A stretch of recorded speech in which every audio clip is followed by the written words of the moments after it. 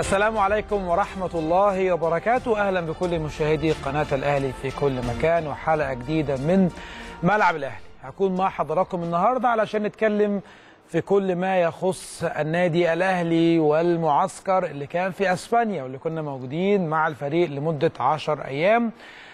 يعني بصراحة كل حاجة كانت على أعلى مستوى. لكن قبل ما أتكلم على معسكر النادي الأهلي وقبل ما أخوض في الكواليس وقبل ما أتكلم على آه، كل صغيرة وكبيرة وكل المواقف اللي مرينا بيها واللقاءات الودية أكيد في الجزء الثاني هيكون معايا نجم مصر ونجم النادي الأهلي الكابتن أسامة حسني علشان نتكلم معاه ونستفيد من خبراته كلاعب دولي ولاعب في النادي الأهلي عن وجوده في معسكرات آه، لفترات طويلة وإزاي لاعب كرة القدم بيستفيد من المعسكرات. وأيضا هنتكلم على مباراة الأهلي والمقاولون العرب القادمة إن شاء الله. هنتكلم أيضا على بطولة الأمم الأفريقية في آخر الحلقة. لكن قبل ما أبدأ زي ما قلت لحضراتكم بنبارك لمنتخب الجزائر الشقيق على فوزه ببطولة الأمم الأفريقية للمرة الثانية في تاريخه. لكن إنجاز الدولة المصرية إنجاز مصر في التنظيم الرائع في أقل من أربع شهور ده الحدث الأبرز بالنسبة لي. حدث الأبرز والمهم لشعب مصر لازم نعيش وناخد بالنا كويس قوي إن مصر عملت إنجاز محدش هيعرف يكرره بعديك ولا حد يعني حاول يعمله قبليك.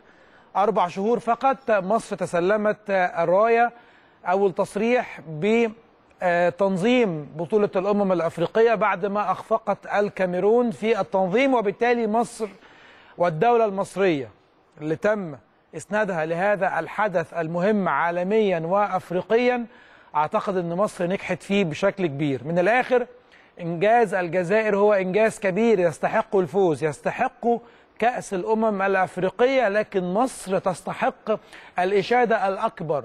ومصر دايما تستحق إن إحنا نعظم الحدث أكبر من حدث فوز الجزائر بالبطولة مع كامل الاحترام والتقدير لدولة الجزائر الشقيقة العربية اللي إحنا أكيد بنتمنى دايما ليها التوفيق ايا كان.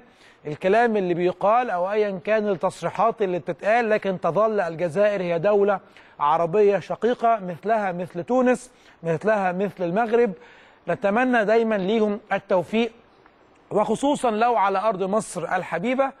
فاخيرا علشان أقفل الملف ده ولما أرجع له أرجع له فنيا مع الكابتن أسامة حسني. لكن مصر ببارك لها وببارك للدولة المصرية سيادة الرئيس. سيادة طبعا رئيس الوزراء الدكتور مصطفى مدبولي وأيضا سياده آه، الدكتور وزير الشباب والرياضة آه، الدكتور أشرف صبحي. بهنيهم على الإنجاز بهنيهم على اللي حصل إن في أربع شهور عرفت تنظم أكبر بطولة في أفريقيا. وأعتقد إن مش بس الإعلام المصري والص- والصحافة المصرية هم اللي أشادوا بيها لأ ده العالم كله أشاد بكل شيء. حفل افتتاح بنية تحتية حفل ختام ملاعب على أعلى مستوى. تنظيم كل شيء. أعتقد إنه كان منظم بشكل رائع جدا. بشكر اللجنة المنظمة والكابتن محمد فضل على المجهودات الرائعة. بشكر أيضا كل المتطوعين في كل الملاعب وكل المرافقين للمنتخبات العربية والأفريقية. على المجهود المتطوعين اللي ما أخدوش ولا مليم نظير مساعدتهم للجنة المنظمة في البطولة.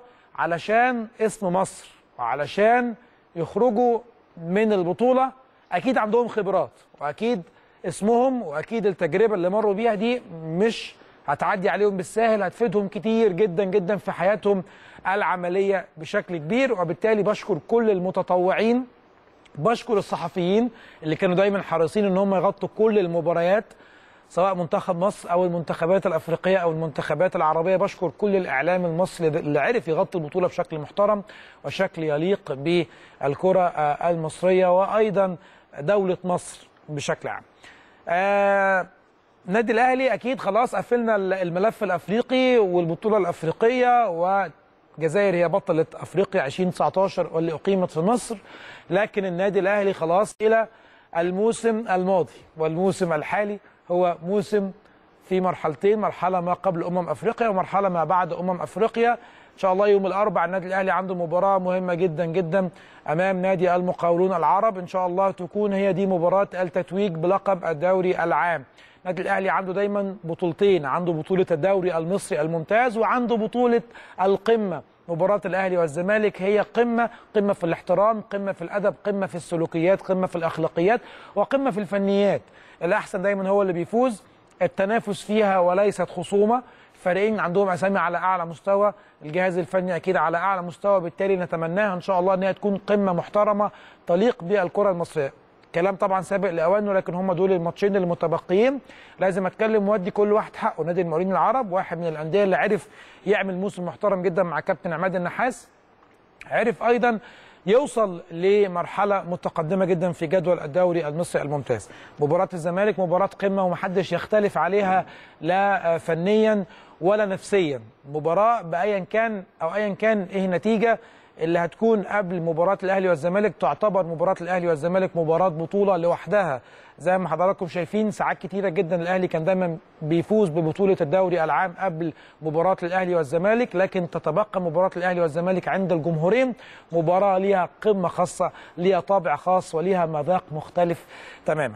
إن شاء الله نتكلم سريعا على معسكر إسبانيا بقى ونطمن كل جمهور الأهلي على المعسكر ونحكي لحضراتكم الكواليس. المعسكر بدأ يوم السبت يوم 6 7 6 يوليو 2019 توجهت البعثة من مطار القاهرة إلى مطار أليكانت في إسبانيا. كل شيء كان مجهز كل شيء كان على أعلى مستوى. وصلنا المطار من المسافة من المطار إلى معسكر وفندق الفريق. أعتقد كان حوالي 50 دقيقة بالأتوبيس. بصراحة الفندق كان على أعلى مستوى. الفندق حاجة تليق بالنادي الأهلي. فندق خمس نجوم. إقامة على أعلى مستوى. لاعبين طبعا زي ما حضراتكم عارفين كل لاعب بيكون حريص على إنه يكون مع يعني بيختار اللاعب الآخر. فدي بيكون حضراتكم عارفين بقى كل واحد بيستريح مع مين أو كل واحد بيحب إن هو يكون موجود مع مين. فكانت ثنائيات دمها خفيف ثنائيات كلها تركيز. بالمناسبة ده اللي إحنا هنتكلم عليه مع الكابتن أسامة حسني. المعسكرات بتقرب اللعيبة جدا من بعض المعسكرات بتخلي اللعيبة وجهات نظرها قريبة جدا من بعض. في الملعب فكرهم قريب من بعض بتجمعهم. لاعب كرة القدم بيقعد مع زمايله وبيقعد مع الجهاز الفني وبيقعد مع فرقته أكتر ما بيقعد مع أهله في البيت. وبالتالي مدى الود والصداقة والحب اللي بيخلقها المعسكرات دي أكيد لاعب كرة القدم بيكون حاسس بيها. وبالتالي زي ما بقول لحضراتكم غرف النوم على أعلى مستوى الأكل كان كله على أعلى مستوى نظام غذائي جيد جدا. أعتقد إن مستر مارتن لاسارتي والكابتن سند الحفيظ والجهاز الفني والإداري كله كان حريص إن هو يختار الأكل ويختار نوعية الأكل ويختار جرعات الأكل اللي تبقى موجودة. والدكتور خالد طبعا كان حريص جدا إن هو يبقى عارف إيه اللي يكون موجود في الفطار وإيه اللي يكون موجود في الغداء وإيه اللي يكون موجود في العشاء. فطار كان الساعة 8 الصبح بنتجه بعديها إلى التدريبات. اللعيبة بتكون موجودة على الفطار بلبس التدريب الخاص بيها. بتنتقل بعد كده للتدريب مباشرة. بنرجع بيبقى في شوية وقت بسيط جدا لبعض اللعيبة اللي عايزة تعمل استرخاء اللي عايز تنزل حمام السباحة اللي عايزة تنزل الجاكوزي اللي عايزة تنزل السبا. بعديها بيكون في تجمع على الغداء زي ما بقول لحضراتكم كل حاجة محطوطة للنادي الأهلي فقط في القاعة الخاصة بالنادي الأهلي فقط تلزم النادي الأهلي. الجرعات الغذائية نوعية الأكل الزيوت التفاصيل الصغيرة جدا جدا اللي حضراتكم ممكن ما تصدقوهاش أو ممكن ما تبقوش عارفين عنها الكتير لكن كل شيء محسوب بشكل محترم جدا. اللقاءات الودية ثلاث لقاءات ودية. التدرج من المستوى من الأضعف للأقوى للأقوى وبالتالي كمان الاطمئنان على كل حالة اللاعبين سواء اللي إن شاء الله يكونوا جاهزين للقاء المقاولون العرب أو حتى اللعيبة اللي بتجهز للموسم القادم.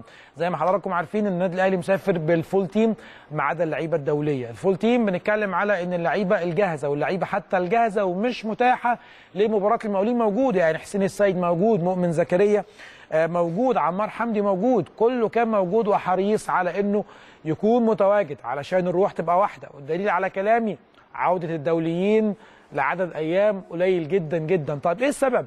هل في حد فكر إيه السبب إن الدوليين يكونوا موجودين يجوا السبت ويقعدوا الحد والاثنين ويمشوا الثلاث ممكن حد يقول ملهاش لازمة إن الدوليين يكونوا موجودين وأنا أعتقد إن الفترة اللي لو كانوا موجودين في القاهرة وبدأوا إن هم يتمرنوا ممكن يكون ده أفضل لهم. أقول لحضرتك لأ مع كامل الاحترام ليك لكن وجود الدوليين وسط زمايلهم بعد الروح السلبية اللي مروا بيها خلال وجودهم مع منتخب مصر كان مهم جدا جدا يكونوا موجودين في المعسكر حتى لو عدد أيام قليلة جدا علشان يخشوا في الأجواء الإيجابية الأجواء التي تؤهلهم إن شاء الله للفوز ببطولة الدوري العام المصري هذا الموسم. بطولة صعبة جدا وموسم طويل. النادي الأهلي ابتدى الموسم بمؤجلات بطولة أفريقيا وبالتالي كان في يعني تقدم وتراجع مش تراجع بسبب النتائج لا تراجع بسبب تأجيل المباريات وعدم الانتظام في بطولة الدوري المصري الممتاز. عشان كده بقول لحضراتكم الأهلي فرط في القمة مرتين لكن فرط فيها غصب عنه لكن لما عاد الأهلي صعب إنه ينزل تاني منها إن شاء الله بعون الله. عشان كده بقول لحضراتكم الروح كانت واحدة الروح حتى روح لعيبة منتخب مصر أو الروح لعيبة اللي كانت بتتابع وتشاهد لعيبة منتخب مصر في مباراة جنوب أفريقيا اللي كنا حريصين إن البعثة كلها تشوفها وتتفرج عليها. كان شعور حزين جدا بخروج المنتخب لكن الرباعي الأهلاوي أعتقد إن هو أدى بشكل محترم جدا. مش بس الرباعي الأهلاوي رباع كل لعيبة منتخب مصر بصراحة يعني أنا أكيد يعني ما فيش حاجة إن إحنا نقدر نقولها غير إن كان في بعض الظروف وبعض المشاكل اللي هنتكلم عليها لكن أنا مش بحب دايما أتكلم بشكل سلبي على خلاص حادث مر وخلص بعض السلبيات اتكلمنا عليها وبعض المشاكل الفنية اللي كانت موجودة لكن لعيبة منتخب مصر أكيد كلنا عندنا يعني يقين من جوانا إن هم ما تخاذلوش ابدا لكن بعض الأمور الخاصة بالمعايير الفنية الاختيارات الفنية والقيادة الفنية داخل الملعب وخارج الملعب أعتقد إن هي دي اللي أثرت على منتخب مصر. كنا نتمنى إن منتخب مصر يوصل لأبعد مدى ممكن في البطولة لكن هو ده حال كرة القدم. اللعيبه الدولية وصولها كان شيء مهم جدا. كابتن شناوي أيمن أشرف وليد سليمان وأيضا مرام محسن كان وجودهم مهم جدا جدا. والأهلي أو النادي الأهلي كان حريص على إنه يكون الجرعات الخاصة باللعيبه الدولية تكون جرعات مع حسين عبد الدايم في معظمها في الجيم علشان ما ياخدوش حمل تدريبي عالي وبالتالي يحصل لهم بعض الإصابات أو بعض الإجهاد في العضل الخاص بيهم. كمان هنتكلم على اللقاءات الودية وبنتكلم على تشكيل المباريات اللي الأهلي لعب بيها، الأهلي كان عنده بعض ال... يعني بعض اللعيبة اللي لعبت في غير مراكزها وأنا أعتقد إن من أهم المكاسب وجود باسم علي في مركز الظهير الأيسر اللي عمره اللي عمرنا ما اتفرجنا عليه في مركز الظهير الأيسر. لكن شارك ولعب بالتبادل مع علي معلول. عارفين إن الأهلي عنده اثنين لعيبة ناحية الشمال غير علي معلول عنده حسين السيد. لكن حسين السيد مش هيكون موجود الموسم الحالي بسبب رجوعه من الاحتراف في الدوري السعودي وأيضا كانت إصابة محمود وحيد واللي بالتالي نزل بعض الشيء في التدريبات الجماعية لكن عودته بعض الإجهاد والإصابة البسيطة جدا وبالتالي كان صعب إنه يتم يعني تجهيزه في لقاء من اللقاءات الودية. عشان كده بقول لحضراتكم من أهم المكاسب باسم علي ووجود باسم علي في مركز الظهير الأيسر. النادي الأهلي لعب ثلاث لقاءات اللقاء الأول أمام فريق سمارت سوكر أو سوكر سمارت الإسباني لعب بتشكيل متوازن. ومن الواضح إن مستر مارتن لاسارتي كان عايز إن هو يعني يجرب ويطمن على بعض العناصر لعب بعلي لطفي في حراسة المرمى.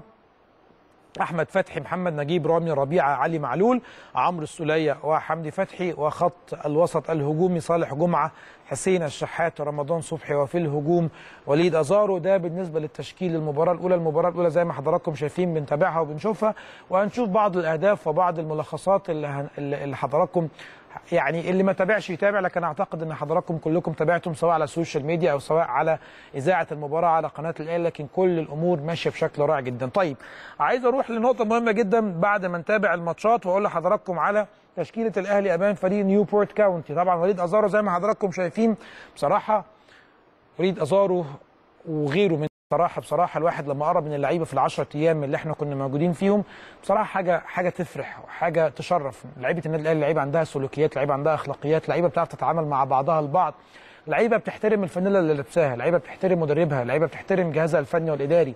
لعيبة محترفة بالفكر الأوروبي اللي إحنا بنسمع بيه. عارفين إن وقت التدريب وقت التد... وقت التدريب. عارفين إن وقت ال... الأكل هو وقت أكل. عارفين إن وقت الماتشات وقت الماتشات عارفين إن وقت الترفيه وإن اللاعب يكون عنده ساعة يرفه بيها عن نفسه باللعب بعض الألعاب زي تنس الطاولة زي البلاي ستيشن. كل ده موجود لكن في الحدود اللي الجهاز الفني والإداري محددها لهم. فرجة على ماتشات أفريقيا وإن هم يقفوا جنب زميلهم وجنب منتخب بلاد علي معلول المنتخب التونسي أعتقد إن دي حاجة محترمة جدا وحاجة يعني تشرف لكل جمهور الأهلاوي. عشان كده بقول لحضراتكم دايما أه بحاول إن أنا أقرب أه يعني أقرب حضراتكم من المعسكر. بالمناسبة اللقطات اللي حضراتكم شايفينها العجل اللي كان موجود في الأوتيل هو متاح لكل النزلاء اللي موجودين في الأوتيل اللي حابب يروح من التدريب من الأوتيل لملعب التدريب بالعجلة كل ده متاح. المسافة تقريبا بالعربية مش هتكمل دقيقة دقيقة ونص وبالعجلة أعتقد إن هي من دقيقتين لثلاثه لكن كان حريص جدا الجهاز الفني الكابتن يوسف والكابتن سامي قمصان والجهاز الإداري إن هم في بعض الأوقات يعملوا بعض الرياضات اللي تكون موجودة ويستخدموا العجل علشان ينتقلوا من من الأوتيل. للملعب التدريب. لكن زي ما بقول لحضراتكم جزء مهم جدا حابب إن أنا أتكلم عليه الجزء الترفيهي. علشان لقيت بعض الكلام إن لعيبة النادي الأهلي عندهم جزء ترفيهي بيلعبوا بعض اللعب زي تنس الطاولة بيلعبوا بيلعبوا بلاي ستيشن بقول لحضراتكم ده أمر عادي جدا في لاعب كرة القدم وده لا يمكن يدي 1% ابدا شيء من إن لاعب ممكن لا يتحمل مسؤولية وإن لاعب مش مركز في الماتش اللي جاي.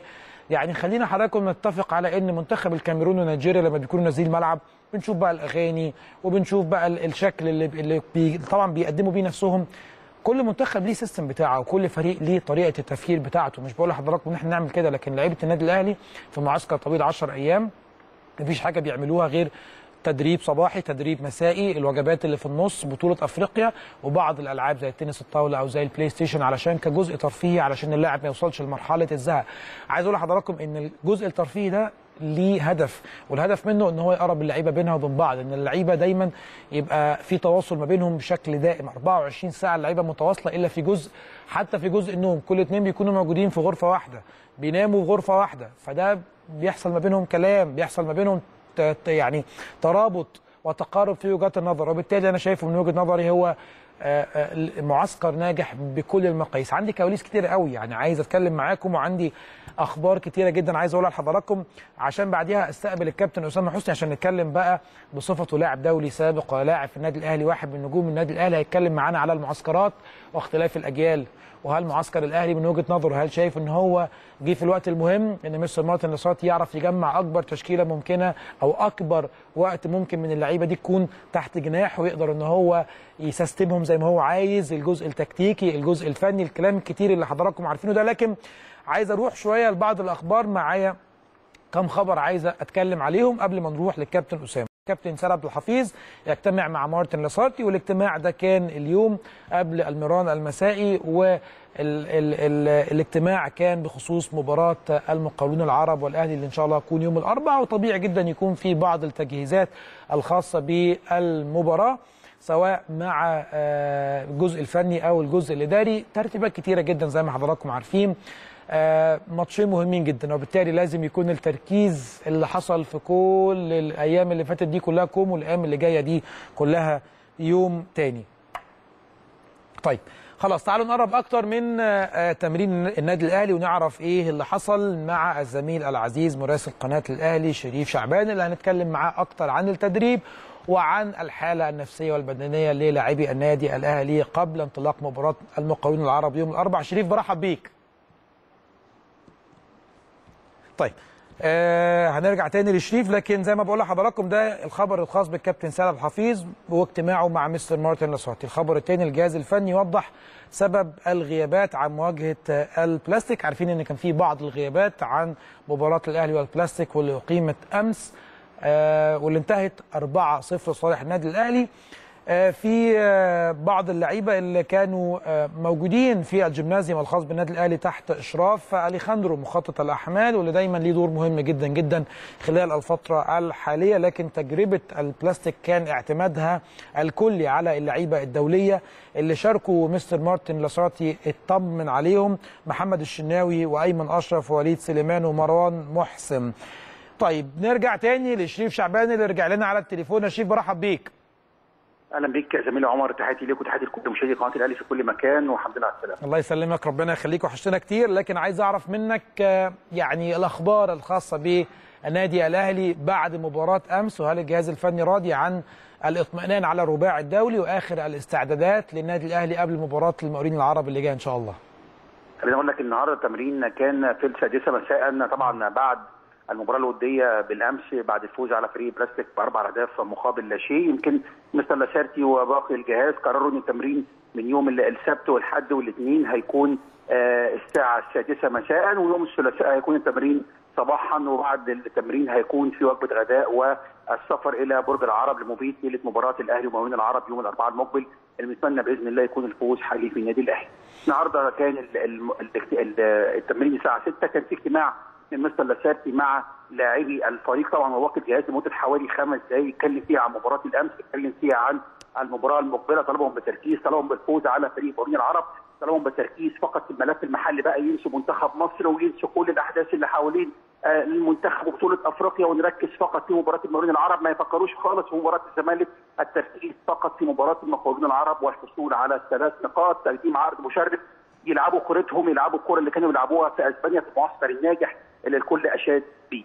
يمكن بعد التمرين يمكن كان مستر لاسارتي وهو الإطالات شغالة طبعا اللعيبة اللي شاركت امبارح في مباراة البلاستيك يمكن معظمها ما شاركش التمرين النهارده واكتفوا تمرينات الخفيفة ثم الاستشفاء يمكن مستر لاسارتي أثناء الإحماءات لاعبي فريق النادي الأهلي كان منفرد بالكابتن محمد يوسف والكابتن سامي قمصان في اجتماع يمكن امتد لحوالي نصف ساعة على الجانب الآخر يمكن لاعبي الفريق تمرينات وإحماءات وجري حوالين الملعب ثم فقرات تخصص على الجول من جميع الأجناب ثم اختبارات تقسيمه يمكن وقفها كذا مرة عشان يصلح الأخطاء أول بأول. الجلسات النفسية مستمرة الجلسات مستمرة منعقدة يمكن مسيرتي بينفرد فيها أو بيمتاز فيها في. يمكن طوال فترات فتراته مع النادي الأهلي. كان ليه جلسة قبل التمرين مع السوليه يمكن كان ليه جلسة مع أحمد الشيخ بعد نهاية التمرين.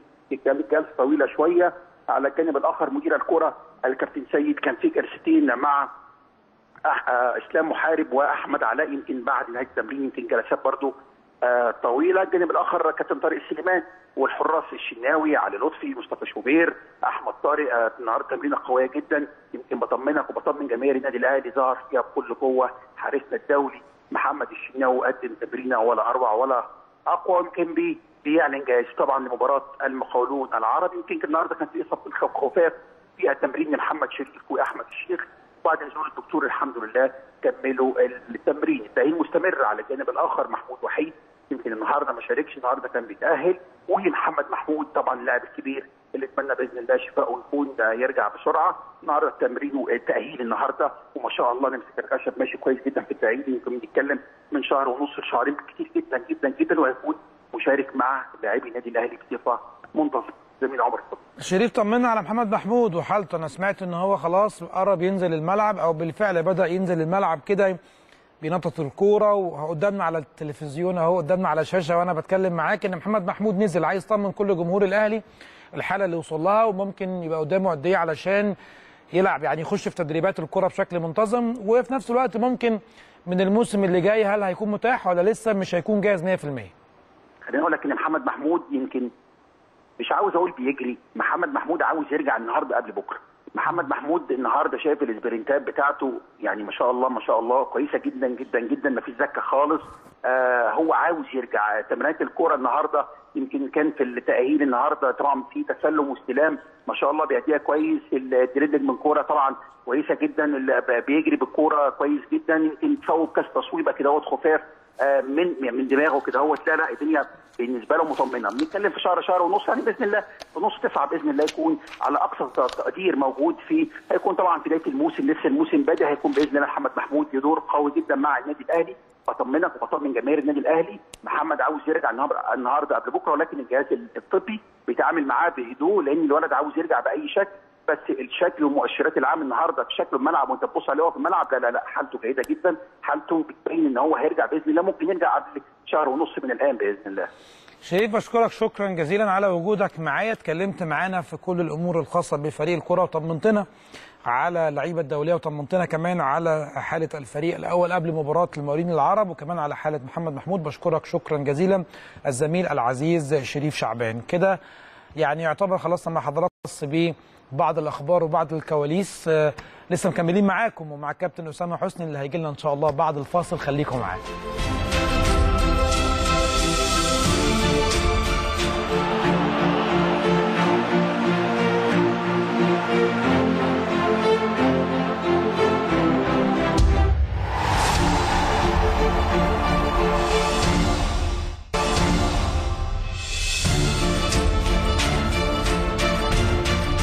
أهلا بحضراتكم من جديد والجزء الثاني من, من ملعب الاهلي. وزي ما قلت لحضراتكم هنتكلم عن المعسكر وده الجزء الاهم. هنتكلم مع واحد من كباتن النادي الاهلي ومنتخب مصر. هنتكلم معاه في ذكرياته والاستفادة اللي ممكن لاعب كرة القدم يستفيدها من خلال تواجده في معسكر لمدة 10 أيام. وكمان في بلد طقسها وجوها أعتقد إن هم زي مصر تماما. شرفني ومنورني كابتن النادي الأهلي ولاعب منتخب مصر الدولي الكابتن أسامة حسني. كابتن أسامة برحب بيك. إزيك يا كابتن عمر؟ أخبارك يا كابتن؟ تمام الحمد لله. منور يا كابتن. ربنا يخليك انت اللي منور بيك قناة دايما. الأهلي. حبيبي يا كابتن أسامة أخبار حضرتك إيه؟ تمام زي الفل. يعني خلاص قفلنا صفحة آه، أمم أفريقيا و... و... وهنركز في الدوري. مباراة مهمة جدا للنادي الأهلي يوم الأربعاء إن شاء الله أمام نادي المقاولون العرب. آه، الجزء الاهم يا كابتن أسامة هو معسكر النادي الأهلي في أسبانيا.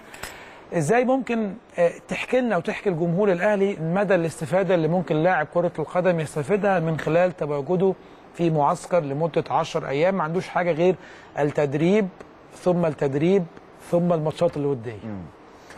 آه، بسم الله الرحمن الرحيم. في في البداية آه، أهم فترة في بداية الموسم هي فترة الإعداد دايما للاعيب الكورة.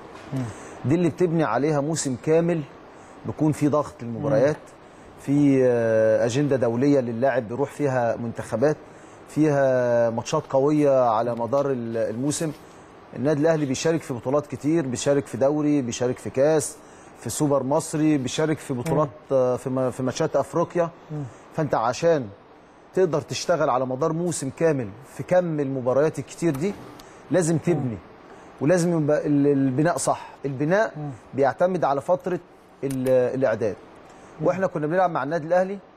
كان دايما لينا فترة إعداد برغم تلاحم المواسم. كنا دايما المواسم متلاحمة في بعض. عدد الراحات أو فترة الراحة تبقى قليلة. لكن كنا بنقدر نحسم الدوري بدري. فبنقدر نريح بدري. ناس بتشتغل ناس بتريح. وبنلتقي كلنا في فترة الإعداد. فترة الإعداد دي كنا بنعسكر. معسكرات في ألمانيا. كنا بنروح أسبانيا كنا بنروح النمسا على ما أعتقد. آه الهدف من فترة الإعداد أهداف كتير جدا. في البداية مارتن نصرتي لما دخل على النادي الأهلي كان دخل أول مباراة ليه على ما أعتقد كانت مباراة بيراميدز. دخل في نص الموسم. ما عندوش فترة كافية إنه يقدر يتعرف على اللعيبة بشكل كبير. آه ما قدرش يحط بصماته على الفريق. طبعا اشتغل فترة بعد كده لكن فترة الإعداد تبقى مهمة جدا في البداية للمدير الفني. تقدر تحط بصمتك تقدر تحط ال- الرؤية اللي انت عايز تحطها طريقة اللعب أسلوب اللعب أه تصحح ال- الأخطاء تحط أحمالك مع الجهاز المعاون. النهارده الجهاز المعاون لما تبدأ تشتغل تحط أحمالك اللي انت عايز تحطها. دي بتفيدك على مدار الموسم في قلة الإصابات. شفنا النادي الأهلي إصابات رهيبة جدا. كان السبب يعني ما أقدرش أقول فترة لا كان هو الاندمان كان مخ- مخطط لأحمال. زائد أنت ما عندكش المساحة إنك أنت تقدر تعود اللعيبة على أحمال قوية يقدروا يشتغلوا عليها على مدار الموسم. فالنادي الأهلي كان عنده الفرصة إن السنة دي يبقى في فترة اعداد إنك تحط الأحمال آه، بتاعتك. مارتن نصرتي يحط الفكر آه، بتاعه. وده أنا شفته في المباراة ال- الودية اللي كانت الأخيرة للنادي الأهلي. دي المباراة اللي أنا شفتها كانت أمام البلاستيك كانت آه، امبارح. شفت فيه شغل برغم. برضو ما أقدرش أقول البلاستيك فريق قوي لكن في شغل في في الملعب في ضغط في استخلاص للكورة في تدوير كورة في آه، تقدر يعني أكبر عدد من اللاعبين يشارك يبقى عنده رتم المباريات. ففتره إعداد مهمة جدا. ال- الحاجة برضو المهمة آه، زائد النواحي الفنية هي إن اللعيبة أنت على مدار الموسم بتيجي التمرين ساعتين تقعد مثلا ساعة قبل التمرين ساعة بعد التمرين أربع ساعات فاللعيبة خلاص كل واحد بيروح بيته أو بيشوف حياته بعد كده. النهارده في 10 أيام انت بتقدر تجمع اللعيبة. خلاص كل اتنين نايمين مع بعض في الأوضة بتتجمع على آه، ميعاد فطار ميعاد غدا ميعاد عشاء فيبقى في وقت ترفيه اللعيبة تقعد مع بعض اللعيبة تتكلم مع بعض المدير الفني يقدر- يجتمع مع اللعيبة. فانت النهارده ال- الترابط الأسري والاجتماعي ده مهم جدا إن يكون آه، في المعسكر. الحاجة الثانية برضو النواحي التغذية. إحنا خلي بالك يعني إحنا هنا في مصر برضو تلاقي اللعيب أكله مش الأكل الصحي. لا في طب ممكن أقف معاك هنا يا كابتن أسامة؟ أنت كان ليك تجربة معايشة مع بايرن ميونخ. آه حقيقي وكنت موجود معاهم وبايرن ميونخ كفريق أول وكان قطاع ناشئين. تمام. يعني يعني إيه يا كابتن اللي إحنا بقى محتاجينه؟ عشان دي نقطة التغذية والتدريبات والمعسكرات. إيه يا كابتن اللي يعني ينقصنا؟ علشان نقرب شوية من المدارس الأوروبية الألمانية على الأقل بما إن حضرتك شفت وعشت وشفت نظامهم عامل إزاي بياكلوا إزاي بيتمرنوا إزاي. خلي بالك أنا يعني طبعا النادي الأهلي اتربيت في النادي الأهلي ومتعايش مع النادي الأهلي. لما شفت شفت لا- النادي الأهلي آه، بيجتهد إنه يوصل للأندية دي. تمام. لا وبالعكس يعني في حاجات كتير تطبق في النادي الأهلي سواء في قطاع الناشئين أو في تمام. الفريق الأول مقارنة بالأندية ال- الكبيرة. لكن أنا شفت يعني يعني آه، نوعية التدريب أو مش نوعية التدريب القتال في التدريب. يعني التدريب اللعيب بينزل آه، أسماء كبيرة روبن ريبيري أسماء كبيرة لا كأنه ناشئ صغير في التمرين في الملعب. بتلاقي ال- ال- ال- الروح القتالية عالية جدا آه، في الملعب. التدريب فيه شراسة يعني صورة مصغرة من آه، المباراة. يعني بتشوف ريبيري و- وروبن لما شفتهم في التمرين لا في غل جامد جدا في التمرين مش عايز يخسر. فهو ده نفس اللي بيتنقل لل- للمباراة. عايز ارجع بس لحتة المعسكر. تغذية. حتة التغذيه مهمة جدا النهارده. انت يعني عندك وقت كافي انك انت المدير الفني لما بحط برامج تدريبية ما بحطش تدريبة واحدة في اليوم لا ده بحط تمرينتين. ممكن يبقى في مباراة في اليوم. مظبوط. مباراة في اليوم. وممكن يكون زي ما اثير خلال الفترة اللي فاتت أو الأيام اللي فاتت ما انت خلي بالك لازم تبقى انت عارف كل ما بتقرب من مباراة مهمة مباراة حاسمة للنادي الأهلي وإحنا ابتدينا دلوقتي في مشوار الدوري اللي ما شاء الله بقاله فترة طويلة هتلاقي فيه اقاويل كتير.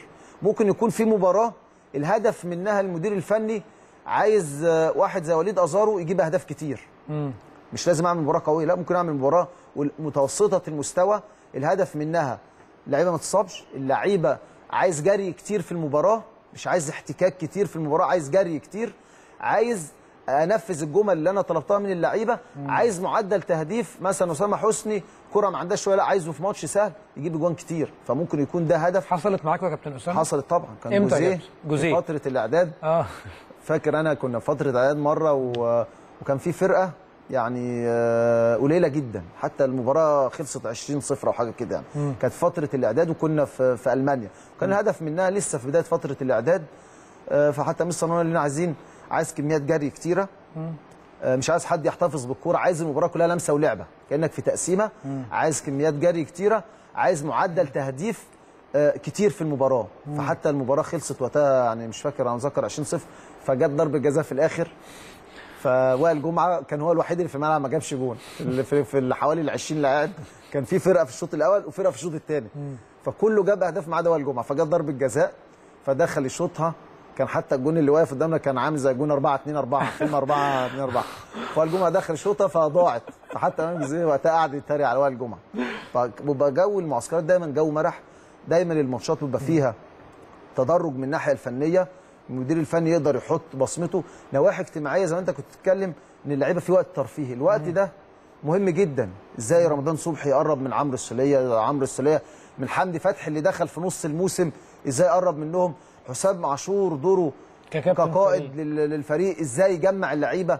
واحد زي حسين الشحات ما كانش عنده فترة تجانس مع الفريق. دخل ما شاء الله ادى مستويات كويسة جدا. حصل دروب شوية بدأ يطلع تاني. فالنهاردة دي فترة مهمة جدا. إزاي يبقى في آه تجمع لعيبه وعلى وقتنا طب كمان طب الكابتن حسام عاشور حضرتك اتكلمت وقلت إن يعني حسام عاشور واحد من اللعيبة المهمة جدا في النادي الأهلي وكان قاعد بالمناسبة مع رمضان صبحي.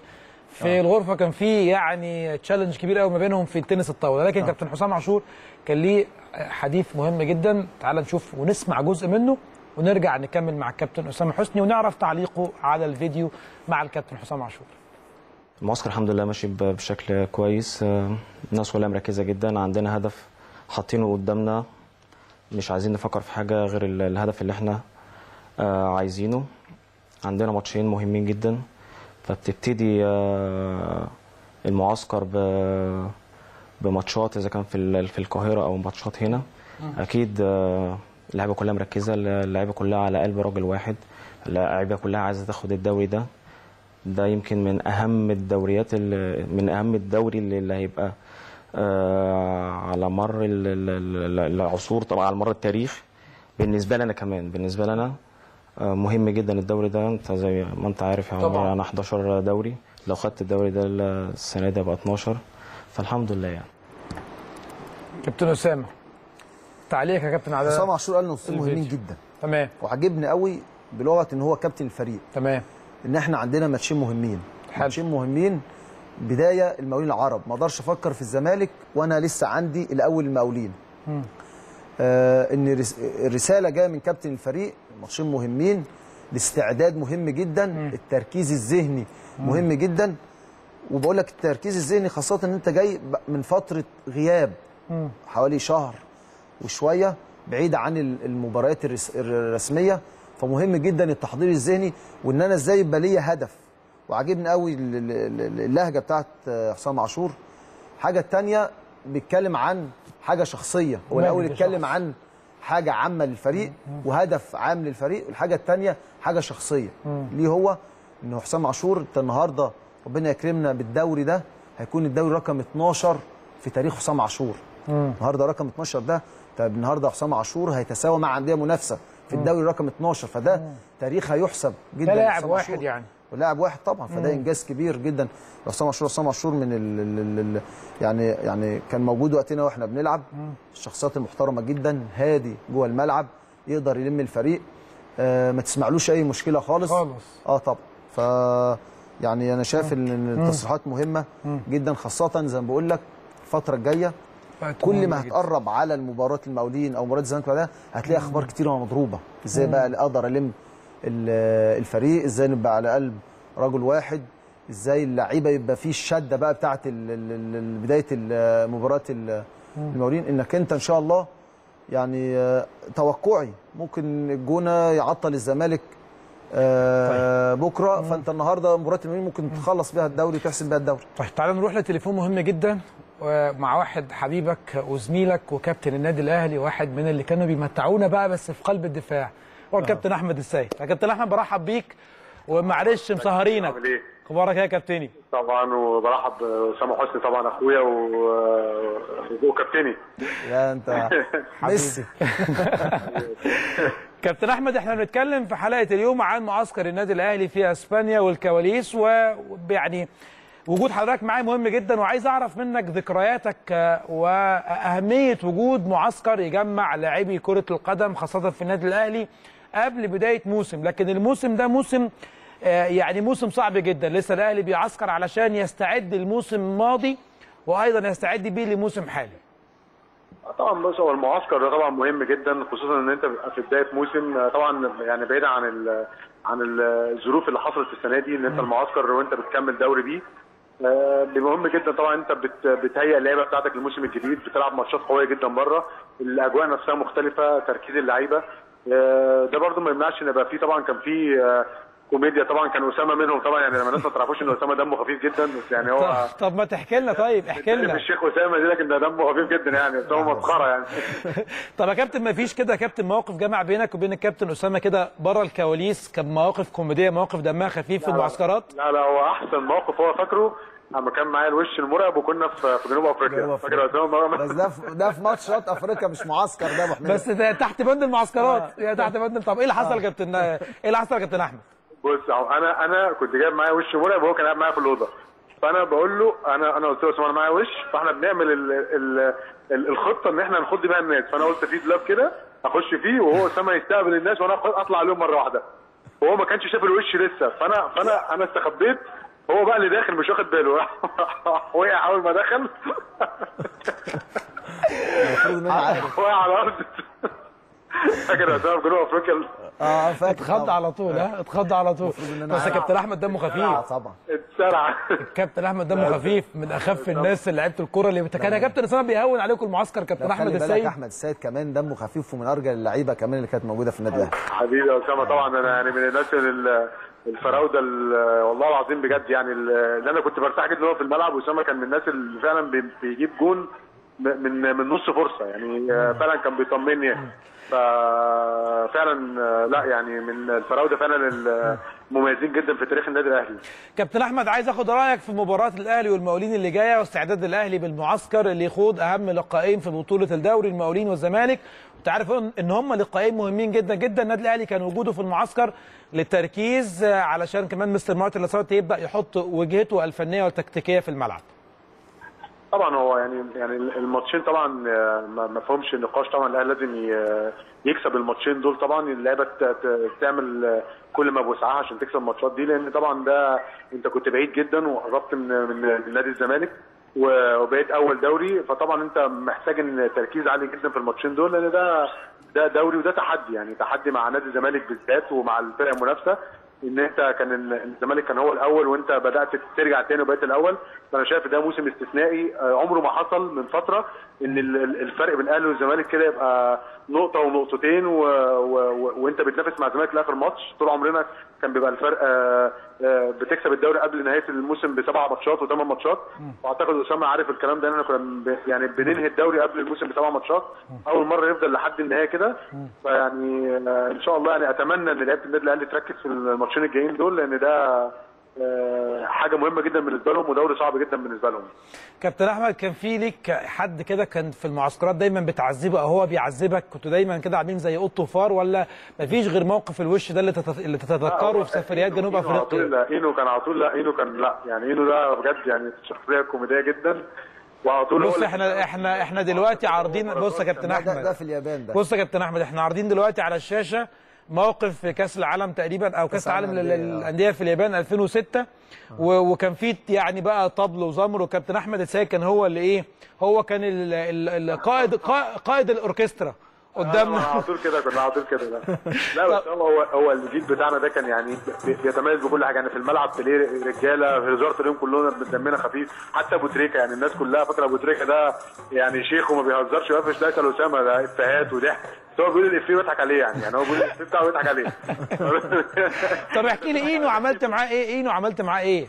لا لا إينو ده إينو ده إينو إينو لا إينو إينو وحسام عاشور مع بعض بقى في في الحوارات بينهم واسامه عارف القصص دي بقى اللي كانوا بيعملوا مع بعض يعني.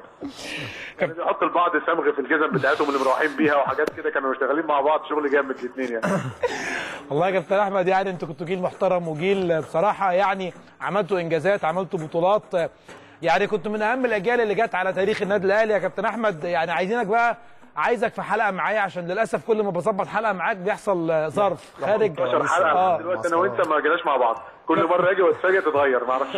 معلش أنا كابتن الحظ وحش يا كابتن أحمد يعني فاهو يعني على الهوا أهو لازم يا كابتن حضرتك تطلع معايا حلقة عشان أطلع منك الكواليس والأسرار. ونفسي طبعا أطلع مع أخويا أسامة لأن أسامة كان بيقعد معايا في الأوضة. بجد من الناس المحترمة جدا خلقا ولعبا وحد محترم جدا يعني. طب أنت يا كابتن أحمد كنت بتنام يعني متأخر شوية كابتن أسامة كان بينام بدري شوية كنت إزاي بتعرفوا تنظموا الموضوع ده مع بعض؟ لا لا والله أنا بنام بدري على طول. لا أنا كنت بلعب بنام بدري. لا يعني بينام بدري يعني من من 10 بينام؟ لا لا مش 10 لا لا 10 كان وائل جمعة و- وابو تريكه 10 يناموا والفجر يصحوا ويقعدوا بقى لحد الماتش بقى. لكن إحنا لا كنا أنا 12 واحدة كده مش بنوصل مثلا للستة لا لا. 12 واحدة كده ننام يعني. كابتن أحمد يعني بحكم مجال شغلك دلوقتي وإنك بتتعامل مع جيل مختلف وأعمار مختلفة وصغيرة والمنتاليتي أو التفكير اختلف شوية ما بين الجيل الحالي والجيل السابق عايز أعرف وتقول لي بما إنك كابتن من كباتن النادي الأهلي إيه اللي اختلف في عقلية الجيل الحالي والجيل السابق وهل يعني العقلية ممكن تأثر على مستواهم الفني داخل الملعب؟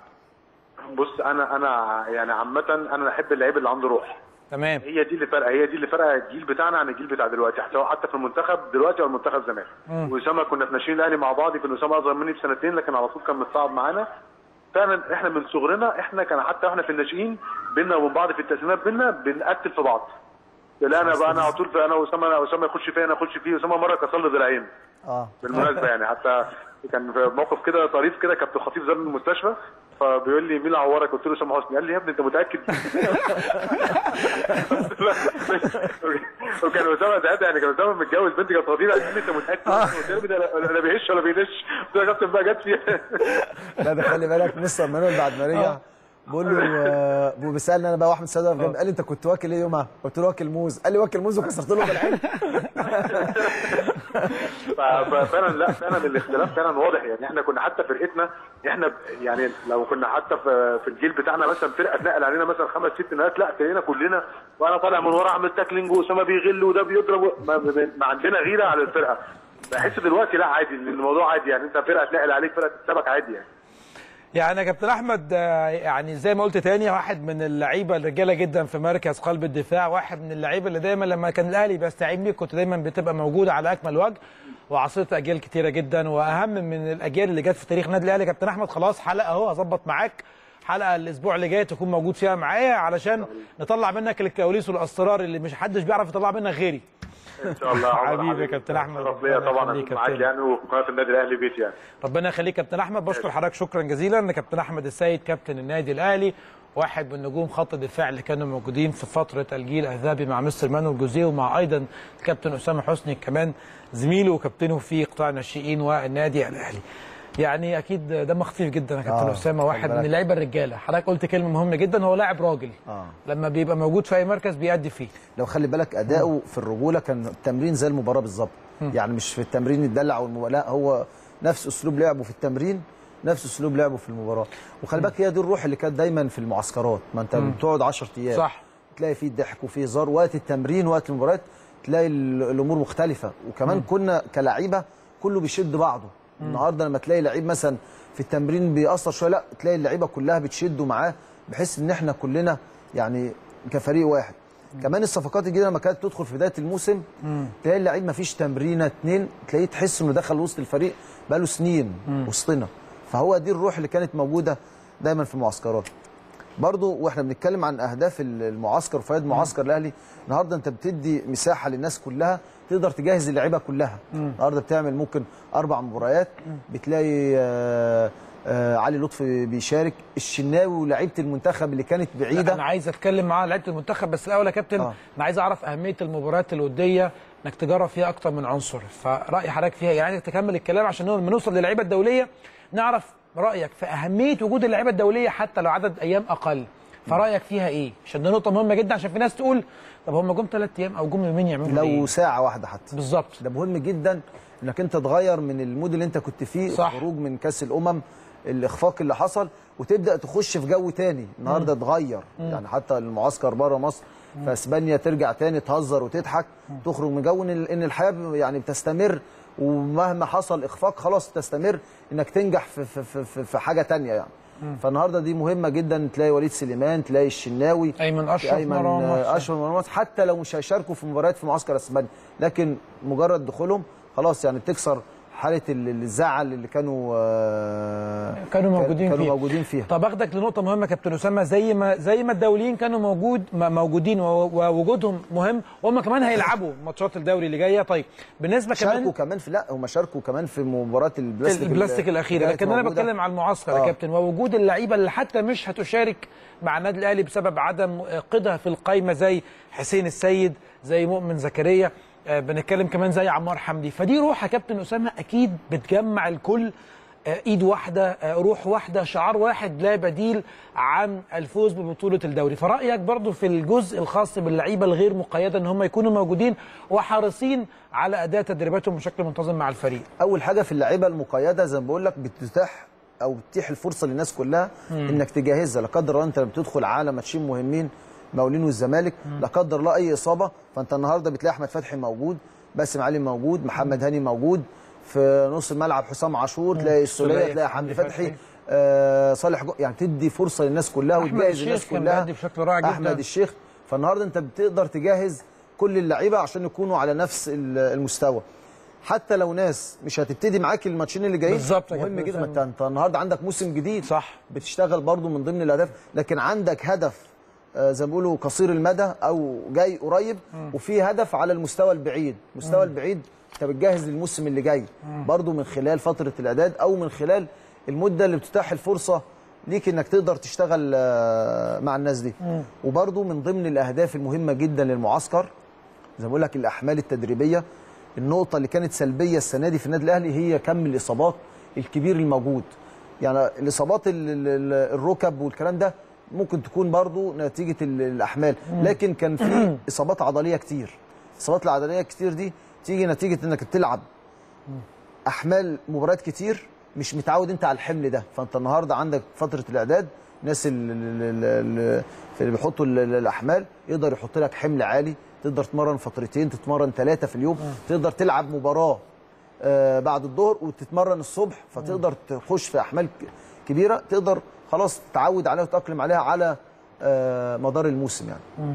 كابتن أسامة أنت يعني آه، آه، أكيد زي ما أنت موجود في المجال الإعلامي لكن أيضا موجود في المجال الفني. لو أنت مدير فني النادي الأهلي وعندك فرصة إنك تجمع لعيبتك 10 أيام تعمل فيها كل الأحمال التدريبية اللي أنت عايزها التكتيك اللي أنت عايزه حتى الجزء ال- الفني سواء في تجارب اللعيبة في أكتر من مركز زي ما باسم علي كان موجود. كلنا متعودين عليه إن هو يبقى back right لا ده موجود كمان في ال back left علشان عشان يبقى فيه آه، يعني تقاسم مع علي معلول على بقية المباريات. هل انت شايف ان دي من احسن الفرص اللي ممكن تيجي لك في الموسم؟ بما ان انت عندك موسم مش مستقر و...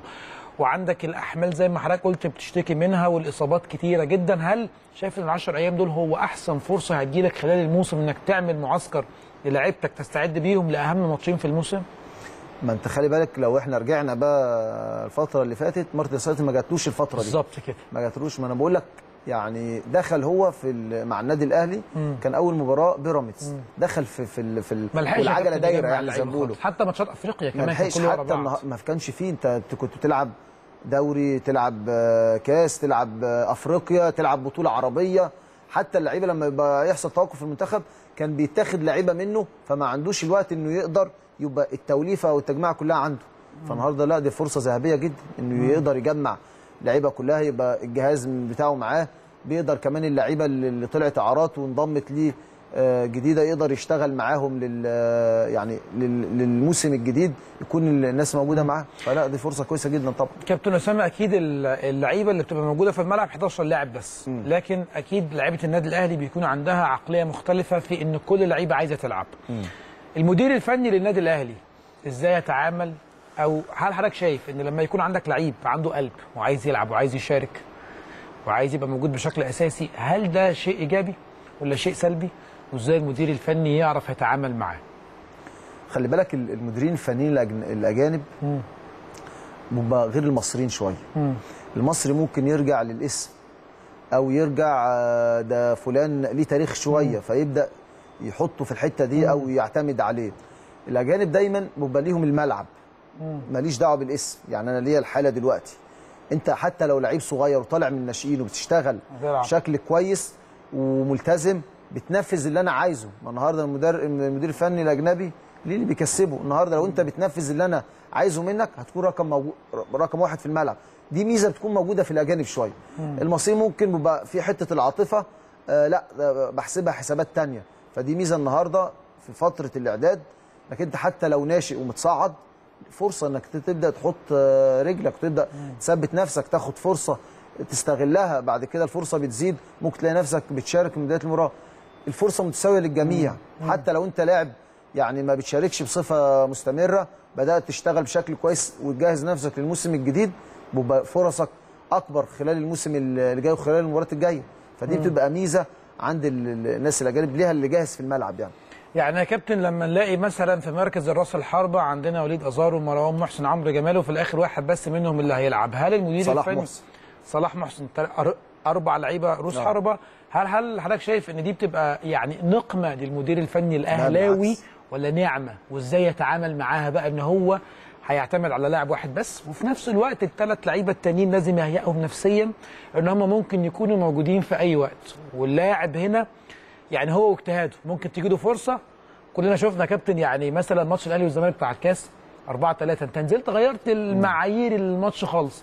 فإزاي يا كابتن أنت كمدير فني تتعامل نفسيا مع الثلاث لعيبة اللي موجودين بره ومع اللاعب اللي هيكون موجود أساسي معاك في الفريق؟ خلي بالك يعني هي العملية مش نفسيا. أنت لو أنت رجعت للموسم اللي فات الموسم الماضي هتلاقي وليد أزارو لعب هتلاقي صلاح محسن لعب هتلاقي مروان محسن آه، لعب. لعب.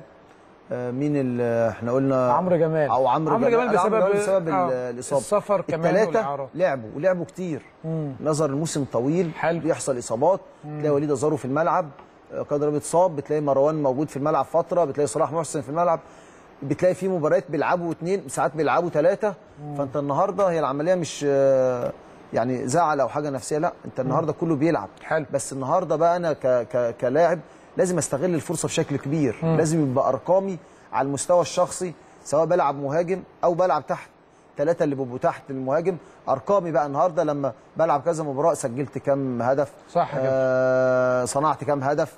آه كنت مشارك يعني بنواحي إيجابية يعني دي تبقى أرقام حتى هي لل- للاعب نفسيا. لكن يعني إن يبقى في في كل مركز اثنين لعيبة وثلاث لعيبة. لا بالعكس ده حاجة إيجابية جدا للمدير الفني. يقدر يبقى في جو منافسة داخل الفريق. النهارده عكس ما خلاص انت لو انت مثلا بتتكلم أحمد فتحي مثلا موجود في ال back right وخلاص هو الوحيد لا ممكن تلاقي فترة من الفترات لا يعني مريح شوية. لكن هتلاقي أحمد فتحي محمد هاني باسم علي الثلاثه ما شاء الله على مدار الموسم اللي فات. أحمد فتحي موجود ما شاء الله عليه.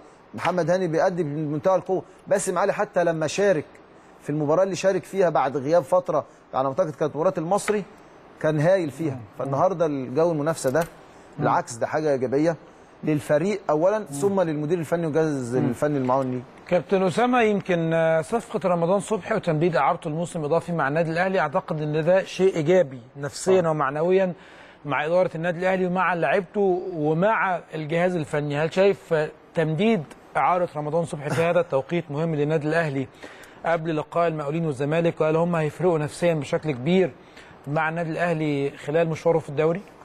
آه طبعا رمضان صبحي لعيب كبير. تجديد الإعارة ليه آه بيعمل لك استقرار تمام. داخل الفريق. آه جه في الموسم ال- في نص الموسم اللي فات آه في ظروف صعبة والنادي الأهلي بعيد. النادي الأهلي قرب بشكل كبير جدا من الدوري. آه لعيب مهم كان بيظهر في في في, في مباريات مهمة آه ليه شخصية داخل الملعب. يعني صح. ليه شخصية داخل الملعب آه عنده هدوء داخل الملعب. الثبات الانفعالي بتاعه في المباريات الكبيرة عنده ثبات انفعالي داخل المباريات. ما بيخافش إنه يستلم الكرة لا يعني ممكن تلاقيه ممسوك حواليه اثنين ثلاثة بيروح للكرة ويستلم وتحت ضغط وليه رؤية بي- بي- بي- بيشارك في صناعة الأهداف. لكن أنا أتمنى على المستوى الشخصي ويعني دي نصيحة ممكن أقدمها لرمضان صبحي إنه يبقى ليه إيجابية أكبر على المرمى. لو طور نفسه في الناحية دي إنه دايما يبقى ليه تركيزه الأول بعد ما أخرج من المباراة. تعالى كده اتفرج على ال highlights اللي بتتعرض بعد المباراة بتبقى 3 4 دقائق مدى الإيجابية أو التأثير بتاعي. خلي بالك طول ما أنت بتلعب لازم تقعد تطور من نفسك. لو هو طور في الحتة دي هيبقى ليه شأن كبير جدا رمضان صبحي. في الحتة الإيجابية اللي بتبقى على المرمى. حتة الأهداف. لكن هو كلاعب لا لاعب كبير يعمل بيعمل الفرق مع أي فريق. وعمل فرق مع النادي الأهلي لما تم يعني آه، آه، إنه رجع في في في, في يناير آه، ليه شخصية داخل الملعب زي ما بقول لك. وهو مش غريب على النادي الأهلي يعني متربي في ناشئين النادي الأهلي. لعب في الفريق الأول قبل كده وراح إعارة ورجع في النادي الأهلي يعني بيته يعني. رأيك في المفاجأة اللي مجلس الإدارة عملها للاعبي النادي الأهلي بتطوير وتغيير أرضية ملعب التتش والفريق في إسبانيا؟ أعتقد إن يعني حاليا ملعب التتش حاجة محترمة جدا لكن بسبب تلاحم المواسم وإن التدريبات عليه بشكل كبير وإن في يعني كل يوم تدريب على الملعب كل يوم فالملعب تم استهلاكه بشكل كبير. لكن أعتقد يا كابتن أسامة إن أرضية الملعب التتش دلوقتي بقت آه، بقت حاجة يعني آه، تليق بالنادي الأهلي وتليق أيضا بال يعني بالأرضية اللي اللي ممكن لاعبي النادي الاهلي يتمرنوا عليها بدون بقى زي ما بنسمع إصابة اللاعب النادي الاهلي بسبب أرضية مخ... آه، أرضية التتش والكلام من هذا القبيل اللي إحنا بنسمعه كلنا كل يوم بقى في الإعلام أو في الصحافة أو أو أو. آه، يعني خلي بالك في البداية عشان نبقى متفقين. يعني مجلس إدارة النادي الأهلي وخاصة كمان يعني الكابتن محمود الخطيب ما بيبخلش على الفريق الأول أو كرة القدم إحنا باي شيء. إحنا شفنا في المعسكر. يعني معسكر على اعلى أعلى مستوى. يعني يا كابتن أسامة فعلا يعني فعلا في لعيبة سافرت بدون ذكر أسامي مع منتخبات أو مع فرق في نفس البلد. آه. شتان الفارق ما بين معسكر الأهلي ومعسكر الفرق أو المنتخبات الثانية خلي بالك النادي الأهلي. دايما بره كمان بيتعامل معاملة. اسم النادي الأهلي كبير. يعني لما كنا بنسافر حتى ألمانيا بنسافر أسبانيا والاماكن اللي كنا بنقعد فيها. وزي ما بقول لك يعني النادي الأهلي وخاصة بقول لك كابتن محمود خطيب ما بيبخ يعني يعني ما بيبخلش خالص على الفريق الأول. باي شيء وخاصه يعني فريق آه كرة القدم. إحنا غير ملعب آه مختار التتش اللي, اللي, اللي, شفنا أرضية الملعب. يعني في خلال فترة توقف أكبر كمان هيبقى فيه صح يا في كابتن. كمان استصلاح أو تصليح لل- لل- للأرض عن طريق الدكتور محمد دكتور سراج. محمد سراج. محمد سراج هو يعني المختص بهذا الملف. كمان شفنا آه، اجهزه الاستشفاء مدار الموسم. صح. تم برضه جلب أجهزة الاستشفاء كمان الأجهزة الطبية اللي الموجوده آه، تاني حاجة كم الإصابات اللي موجودة. خلال الموسم اللي فات شفنا تكوين آه، جهاز طبي على أعلى مستوى أو مش جهاز لجنة طبية. دكتور أحمد عبد العزيز. دكتور أحمد آه، عبد العزيز. دكتور ياسر المليجي. شفنا الصفقات كمان اللي أنت النهارده لما بتيجي تبني فريق وأنا كنت موجود في موسم 2004 كان موسم 2000 2003 2004 وكان دي فترة صعبة في النادي الأهلي. انت بنيت فريق في حوالي آه، سنتين أو ثلاث سنين. فاكر أنا الفترة دي كنت موجود فيها في النادي الأهلي. انت النهارده في يناير انت بتعمل فريق جديد. انت عملت فريق في حوالي 30 يوم. ده إعجاز في كرة القدم. إنك تبني فريق. كنت في الآخر في الدوري الممتاز. انت النهارده متصدر الدوري الممتاز متبقي مرتين. والحمد لله الأمور ما زالت في إيد لاعبي أو بين أقدام لاعبي النادي الأهلي. يعني في ايدينا ال- ال- الأمور. فده النهارده اعجاز في كره القدم انت بتستكمل ما بنيته في يناير في الفترة دي. انت النهارده انت لما بتبني بتبني على مرحلتين. ال ال ال الكم الاكبر اشتغلت فيه في يناير. في تم جلب دلوقتي آه، تجديد العار رمضان صبحي. ديانج, ديانج. آه جبته. المالي. لسه في كمان صفقات جاية في الطريق. فانت النهارده الله تستكمل. إن شاء الله. تستكمل عملية ال- البناء. فده كمان إعجاز في كرة القدم وإنك كنت بعيد خلي بالك لما حسام عاشور قال لك ده أهم دوري. بطولة أهم بطولة هي بطولة الدوري دي أتمنى الرسالة دي تكون واصلة للاعبي النادي الأهلي. النهارده يبان بقى في البداية إن شاء الله في مباراة المقاولين العرب. كابتن أسامة أنا في سؤال شخصي عايز أعرفه. يعني هو كواليس مباراة القمة اللي إحنا الشهيره 4 3 في بطولة الكاس لما نزلت وجبت هدفين دي بصراحة من أمتع اللقاءات اللي أنا اتفرجت عليها. فأنا عايز أعرف منك إزاي لاعب يكون موجود على دكة البدلاء أو لاعب مستر مانويل يعتمد عليه وينزل يخلص له مباراة يجيب له بطولة. فده عايز أسألك علشان دي هتكون message مهمة جدا أو رسالة مهمة جدا النادي النادي الأهلي بشكل عام إن أي لاعب هيكون موجود على دكة البدلاء ممكن ينزل يغير معايير المباراة. بس استأذنك نروح لفاصل ونرجع نكمل مع الكابتن أسامة حسني. خليكم معانا.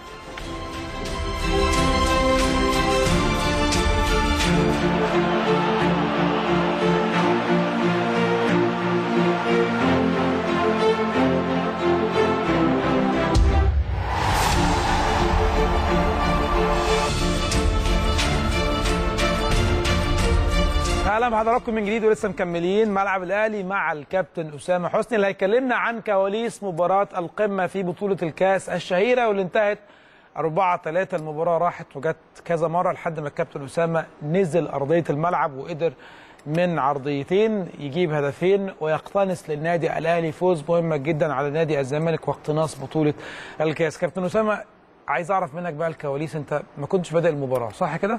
طيب كان إحساسك الداخلي إيه؟ وده كان شيء مهم جدا. هل كنت زعلان ولا كنت محضر نفسك إنك لو نزلت إن شاء الله تجيب جون؟ ولا مستر مانويل جوزيه كان مجهزك الكواليس اللي ما قلتهاش قبل كده بقى يا كابتن اسامه لا هي بس يعني عشان ما نروحش لمباراه الزمالك وإحنا عندنا الأول مباراة أنا عايز أعرف هدف معين. آه. ماشي بس عشان إحنا عندنا مباراة أهم يبقى هو التركيز بتاعنا آه. بينصب فيها هي مباراة المقاولين دي آه. الاهم دلوقتي. يعني ناخدها ما بالترتيب أنا عايز اربط يا كابتن اسامه ما أنا هقول لك. التحضير في ال- لما تيجي في مباراه الزمالك آه. أهم حاجة التحضير التحضير الذهني. آه. الذهني حتى لو أنت مش مشارك بدايه المباراة بتشارك وقت قليل أو بتشارك شوط أو بتبتدي من أول مباراة مهم ال- ال- التركيز. إن المباريات الكبيرة دي محتاجة دايما تركيز. الأخطاء سلام. فيها سلام. بص ما خفتش يا كابتن اسامه ما خفتش الكرة بتتلعب بالعرض إنك مثلا تخبط في الجون. لا صراحة برضه خلي بالك برضه أبو تريكة حاططها زي ما بيقولوا بمعلمه لا أنا كابتن كانت آه. صعبة قوي يا كابتن صعبة خلي بالك جدا. أبو تريكة في الكرة دي حاططها بمعلمه هو ماشي بالكرة أنا كنت واقف الأول بظهري أول ما بدأت أقف بجنبي أقف بجنبي هو عارف أنا عايزها في انهي مكان. وخلي بالك دي كانت ميزة عند أبو تريكة. ده صديق بقى. آه. لا أنا قبل الهدف ده في الهدف الأولاني أنا كنت الأول واقف بجنبي. أول ما أبو تريكة بدأ يجي جاي جاي جاي جايب الكوره بدأت أعدل نفسي وأقف بجنبي راح هو حاططها من فوق ال- أحمد حسام. بص حاططها أنا بالجنب هو عارف دلوقتي أنا عايزها في أنهي مكان وأنا واقف بجنب فحطها لي قدامي. ودي ميزة طبعا عند أبو تريكة في الحد... في الحاجات ال- البينية دي. آه. يعني كان بيقول لك ليه أربع عيون يعني؟ آه. يقدر ي... طيب يا كابتن آه، جوزيه اتكلم معاك قبل قبل المباراة قال لك إنك ممكن تاخد شوية ولا كان جوزيه مش مع اللعيبة اللي موجودين وكان عارف إن كل لاعب هيكون موجود هيأدي اللي عليه. هو جزئيه كان دايما ال- النقطة اللي بيكلمنا فيها آه دايما الجمهور جمهور النادي الأهلي. لازم نقاتل من عشان جمهور النادي الأهلي. أي بطولة بتدخلها حتى لو لسه محقق بطولة النهارده وداخل بطولة بكرة أو بعدها بساعة أنت بتقاتل عشان جمهور النادي الأهلي. فدايما كان هو هدفنا دايما إزاي تسعد جمهور النادي الأهلي. الجمهور هتلاقي فيه ال- ال- ال- اللي ممكن فقير مش لاقي ياكل. كل همه في الدنيا إزاي يشوف النادي الأهلي كسبان عشان هو ده يعني الانبساط بتاعه أو دي سعادته. فهو ده كان دايما في برشلونه إزاي تسعد جمهور النادي الأهلي. فكنا كل المباريات بتلعبها آه إزاي تكسب عشان تسعد جمهور النادي الأهلي. الحاجة الثانية وأنت بتكسب إزاي تقدم كرة حلوة. النهارده اللي جاي دافع تذكرة وجاي وجاي تعبان وراكب مواصلات وجاي الاستاد إزاي أنت بتمتعه كانك على مسرح بتقدم له كرة حلوة جدا. أو بتقدم له مشهد كويس يستمتع بيه. فهو كان دايما حريص المكسب والأداء.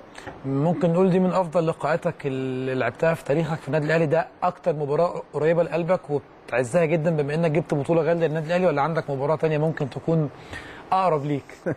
لا هي دايما يعني هي مباراة الأهلي والزمالك هي دايما اللي بتبقى معلمة مع الناس يعني. طيب عشان ما نروحش بعيد كابتن أسامة الأهلي والمقاولين العرب مش هتكلم على الاهلي والزمالك علشان خاطر زي ما حضرتك قلت هي دي الأهم وهي دي مباراة إن شاء الله البطولة. فنيا شايف المباراة إزاي؟ هل النادي الأهلي هيبدأ بنفس التكتيك اللي بيبدأ بيه؟ هل ممكن الأسماء تكون معروفة بالنسبة للجمهور النادي الأهلي ولا ممكن نلاقي بعض التغييرات؟ ممكن نلاقي بعض الأسماء اللي ما كانتش بتشارك الفترة اللي فاتت ولا رأي حضرتك إيه؟ هو طبعا في البداية ال- يعني أنت داخل كفتين متساويتين الأهلي والمقاولين. الفرقتين بيبتدوا من الصفر. يعني أنت مش ماتشات دوري وعندك الريتم العالي أو المقاولين عندهم الريتم العالي لا أنت الفرقتين راجعين من غياب حوالي شهر ونص فترة إعداد الفرقتين عملوا فترة إعداد. على ما أعتقد برضو المقاولين برغم عدم أهمية المباراة ليه خلاص هو ابتعد عن المركز الرابع وضمن المركز الخامس على ما أعتقد لكن المباراة هتبقى بطولة خاصة لل- للمقاولين. المفروض الدوافع عند لاعبي النادي الأهلي أكبر. ده النهارده في نهاية المشوار الأمور بإيدك تقدر تحسم. انت اللقب بإيدك فمفروض الدوافع أكبر عند لاعبي النادي الأهلي لكن مباراة مش هتكون آه، سهلة خالص هتكون مباراة صعبة. أتمنى اللعيبة يعني من بداية المباراة تحسمها ويدخلوا في جو المباراة بدري بدري. أنت النهارده يعني صعب إنك تكون بعيد وتقدر تدخل في المباراة من أول 15 دقيقة ومن 10 دقائق أتمنى الوقت ما يسرقش لاعبي النادي الأهلي. لا تحاول تدخل في جو المباراة بدري خاصة إنك أنت بعيد عن بداية المباراة. التشكيل على ما أعتقد يعني أنت النهارده المدير الفني هو ادرى باللعيبه وادرى بفتره الإعداد اللعيبة اللي جاهزة. ما شاء الله كل اللعيبة شاركت فترة ال- ال- الإعداد. ما فيش إصابات عندك. عندك كل البدائل موجودة تحت إيدك أتمنى إن شاء الله تكون موفق في أفضل توليفه وأفضل تشكيلة يبدأ بيها إن شاء الله مباراة المقاولين. ه- يعني هسألك سؤال كده. خاص بالتحكيم هل يعني متفائل خير في اللقاءين اللي جايين تحكيميا؟ آه، أتمنى. للدوري المصري كله مش الأهلي بس عشان بس إيه نبقى نب- بنتكلم لكل الناس عشان يكون في يعني عدل النادي الأهلي أكيد بالأخص لكن عامة على كل الفرق اللي موجودة لا خلينا نتكلم عن ال- آه، المواجهتين هم المواجهتين يعني. بما ان هم موجودين آه. أتمنى يعني ألا يتدخل أحد الأشخاص في تعيين حكام ما بعينهم يعني إحنا دلوقتي إحنا دلوقتي كابتن عزب حجاج والكابتن وجيه أحمد هم اللي مسؤولين عن لجنة. الحكام كابتن آه. كابتن وجيه وكابتن عزب هم اللي مسؤولين عن لجنة الحكام بعد استقالة الكابتن عصام عبد الفتاح من اتحاد كرة القدم وبالتالي استقال أيضا من رئاسه لجنة التحكيم ما أنا بقول لك باختصار وفي كلمة واحدة أتمنى ألا يؤثر بدون ذكر اسمه أحد الأشخاص في اتحاد الكرة على لجنة التحكيم وتعيين حكام بأسمائهم يعني. وإحنا شفنا قبل كده في, في مناسبات أحد الأشخاص عين حكام مصريين بعد ما أحد الأندية كانت طالبين حكام أجانب وهو عين حكام مصريين. أتمنى في الماتشين اللي جايين ما يكونش ليه تأثير على التحكيم. ما يكونش ليه تأثير على التحكيم ان إحنا شفنا على مدار موسم طويل. شفنا يعني آه آه حاجات كانت يعني آه صعبة كده. صعبة بالنسبة تقييمك. للموسم الحالي من الحكام المصري والأجنبي رأيك فيه إيه؟ والله بص يعني أنا لما شفت في مباراة أفريقيا لسه برضو التحكيم الأفريقي لسه بيعاني برضو. لسه مش مش على آه لسه ما فيش الاحترافية برضو ما زال في التحكيم ال ال ال الأفريقي. الأفريقي. وإحنا لسه برضو ما زلنا التحكيم المصري هو جزء من ال- الأفريقي. محتاجين يبقى فيه احترافية أكبر. لكن ال- الشيء الأهم إن إحنا حكامنا فيهم نزاهة. ما حدش يقدر يتكلم عن كده. نشهد ليهم بالنزاهة كلهم. لكن عايزين نطور بقى من آه، مستوى التحكيم بشكل أفضل.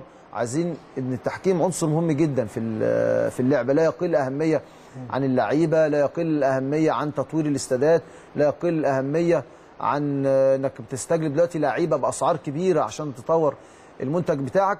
فجزء مهم وجزء أساسي من اللعبة التحكيم. النهارده أنت لما بترتقي بالتحكيم بتقدر تشوف مباريات تستمتع بأداء ال- ال- ال- الحكام.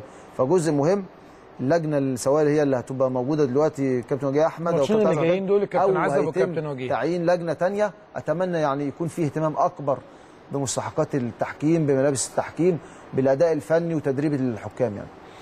رأيك في أداء الحكام المصريين في بطولة أفريقيا؟ بما إن حضرتك قلت حكامنا حكام نظيفه حكام آه، نزيهه حكام أعتقد إن هم يعني حكام ممكن يكون الضغط اللي بيتم توليده في بعض وسائل الاعلام وبعض الأندية ممكن ده اللي بيأثر على مستواهم بعض الشيء. لكن لما حضرتك شفت آه، مستوى الحكام في بطولة أفريقيا حكامنا المصريين هل شايف إن مستواهم يعني أفضل من الحكام الأفارقة؟ عندنا طبعا حكام. ما حدش يقدر يقول ما عندناش لا عندنا حكام وعندنا حكام على أعلى مستوى عندنا حكام بنشوفهم في المحافل الكبيرة دولية. سواء كأس العالم أو كمان آه، في بطولة. أفريقيا. لكن زي ما بقول لك هي منظومة كاملة. ما أقدرش إن أنا أهتم النهارده بان أنا بجيب مديرين فنيين أجانب على أعلى مستوى. بجيب لعيبة أجانب دلوقتي وبدأت فتحت عملية الاحتراف. وانسى جانب هو يعني أنا شايفه هو الأهم في المنظومة هو الت- تحكيم. التحكيم. النهارده مهم جدا. عايز أطور أكتر أدخل الفار وأساعد ال- الحكام. لازم الحكام برضو تاخد مستحقاتها واريحها فالنهاردة دي كلها منظومة كاملة. لازم اتحاد الكورة القادم لازم يهتم بهذه الأمور. بعد ما شفنا طبعا فترة مع التحكيم خاصة كمان إن التحكيم المصري يعني ما كانش واخد حقه خلال الموسم اللي فات. شفنا حكام بتتظلم شفنا حكام تسب شفنا حكام بتتشتم على الهوا. وكمان كان اتحاد الكورة ولجنة التحكيم ما بتدافعش عنهم. فلا لازم الحكم المصري زي ما إحنا بنقول نزيه لازم يلاقي الدفاع عنه في الوقت اللي محتاج تدافع عنه. محتاج انك دايما تطور مستوى الحكم. زي ما انت بتطور مستوى اللاعب زي ما انت بتطور مستوى المدير الفني والمدربين لازم مهم جدا انك تطور مستوى ال- الح- الحكم.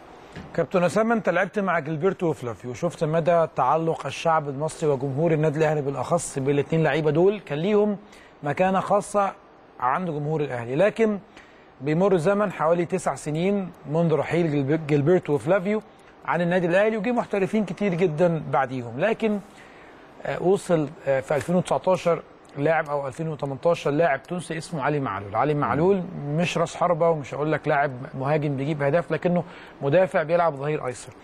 فجينا كلنا إن جمهور الأهلي بيحبه بشكل رهيب جدا بسبب مستواه بسبب آه، إنه بيجيب أهداف مؤثرة مع النادي الأهلي وبالتالي ما شفناش الحب اللي كان موجود من أيام فلافيو وجilberto تسع سنين إلا لما جه علي معلول. أول حاجة عايز أعرف من حضرتك رأيك في علي معلول. رأيك لما استبعد أو لما تم استبعاده من منتخب تونس وشفنا تعاطف جمهور الأهلي كله مع كامل الاحترام لجمهور تونس تعاطف معاه أكتر من الجمهور التونسي. ده بيدل على إيه؟ آه، ده بيدل إن يعني جماهير النادي الأهلي لما بتحب لاعب آه، بتقف جنبه وقت ال- الشدة شد. وقت المحنة بتاعته. يعني مش هنسميها محنة إن هو تم استبعاده من منتخب تونس لكن كانت أمنية لعلي معلول يكون موجود في كاس الأمم الأفريقية. ك back علي معلول من أهم اللعيبه الأجانب اللي جم برضو في تاريخ النادي الأهلي. طبعا. آه، على المستوى السلوكي ما شاء الله ما شفناهوش خلال الفترة اللي لعبها كلها. بيعمل مشكلة مع مدير فني مع زمايله حتى مع الفرق المنافسة. مدى التزامه داخل الملعب. من النواحي الفنية يعني لو اتكلمنا على باكات left اللي جم في تاريخ النادي الأهلي يعني هنقول بعد الكابتن ربيع ياسين. على فكرة كنت بقعد أهزر معاه. أقول له أحسن تاني أحسن back left في مصر بعد ربيع عزيز الكابتن ربيع ياسين. لا, لا فعلا. ولاعب مؤثر جدا. طبعا يا كابتن. الحاجة المهمة كمان إن هو عنده شخصية داخل الملعب. اللعيب اللي بيلعب في النادي الأهلي مش مهم إن هو يكون فنيا كويس بس لا لازم يكون عندك شخصية. إنك أنت في وقت من الأوقات بيبقى في ظروف صعبة داخل المباراة. مين اللي يتحمل مسؤولية؟ مين اللي يبقى عنده شخصية؟ دي ظهرت أو برزت بشكل أكبر الموسم ده في الوقت الصعب. وقت النادي الأهلي لما بيكون متعادل أو مغلوب وفاضل 10 دقايق ولا خمس دقايق بيبان بانت في مباراة الاتحاد السكندري. حرس الحدود. حرس الحدود في, في الثواني ال- الأخير. لا كانت مباراة الجيش. الجيش كان الجيش. طلائع الجيش كان في ملعب. حرس الحدود. أيوه كانت ملعب المكسة كانت أيوه مظبوط. كان آه، مباراة الاتحاد السكندري في الثواني الأخيرة برضه في كمان في في الفرص أو ال- الأهداف اللي بي- بيصنعها علي معلول من سواء من آه، كرات ثابتة خارج ال 18 أو كرات عرضية. فلا علي معلول من اللعيبة المؤثرة جدا. خلي بالك فرق بشكل كبير جدا مع منتخب تونس. طبعا منتخب يعني تونس كان ما عندوش أي خطورة من ناحية الشمال. آه ألان جريس ما أعرفش إزاي استبعد علي معلول. يعني أو مين اللي, اللي, اللي وزه أو قال له استبعد علي معلول. لا علي معلول بان فايدته مع منتخب تونس في الأداء اللي إحنا شفناه من منتخب منتخب تونس وصل المباراة بالنهاية لكن لم يقدم الكرة الحلوة يعني أو ال- الأداء المقنع علي معلول كان من ضمن الأسباب إن تونس ما تقدمش الأداء المقنع إن هو كان مفتاح لعب هجومي جدا يقدر يصنع أهداف ودلوقتي طور من نفسه بشكل كبير إنه يصنع أهداف كمان إن جماهير النادي الأهلي تقف جنبه فده كمان يعني مردود عنده بقى. نفسيا بشكل كبير صح. جدا عوضه نفسيا شوية لما لقى جماهير النادي الأهلي واقفة جنبه بتأزره آه، الناس كلها بتسانده فده كمان يعني حبه وتعلقه بالنادي الأهلي زاد يعني. كابتن أسامة أنا عارف إنك عندك كلام كتير جدا للمنتخب وأنا قلت لك إن إحنا هنتكلم على منتخب مصر بعد ما نخلص النادي الأهلي بس قبل ما نروح لملف منتخب مصر يعني تقول إيه لجمهور النادي الأهلي قبل الماتشين المهمين اللي جايين سواء مباراة المقاولين أو مباراة الزمالك؟ وشايف إزاي لاعيبه النادي الأهلي تقدر تحسم اللقب الهام جدا في هذا الموسم الصعب؟ أقول الجمهور واللعيبة. الجمهور في البداية أتمنى يكون المباراة المقاولين بجماهير. خلاص يعني بعد كأس الأمم الأفريقية بدأ شفنا المشهد وشفنا الجماهير. لازم يكون في جماهير في المباريات المتبقية من عمر الدوري. رسالتي للعيبة الحمد لله ما زالت الأمور بإيد لاعبي النادي الأهلي. النهارده لا قدر الله الأمور مش بإيدك كانت الأمور تبقى صعبة. إن أنا عايز أكسب وأستنى النتائج الأخرى. لا ما زالت الأمور بإيد أو بأقدام لاعبي ال- النادي الأهلي. مشوار السنة كله في مباراة المقاولين في البداية ثم مباراة الزمالك. ما أقدرش أفكر في مباراة الزمالك دلوقتي وأنا لسه الأول عندي مباراة المقاولين مهمة جدا. وبالعكس أنا شايفها كمان من المباريات ال- الصعبة خاصة البداية وفريق المقاولين عنده جهاز فني محترم بقيادة عماد ال- النحاس. آه، عنده لعيبة مميزة.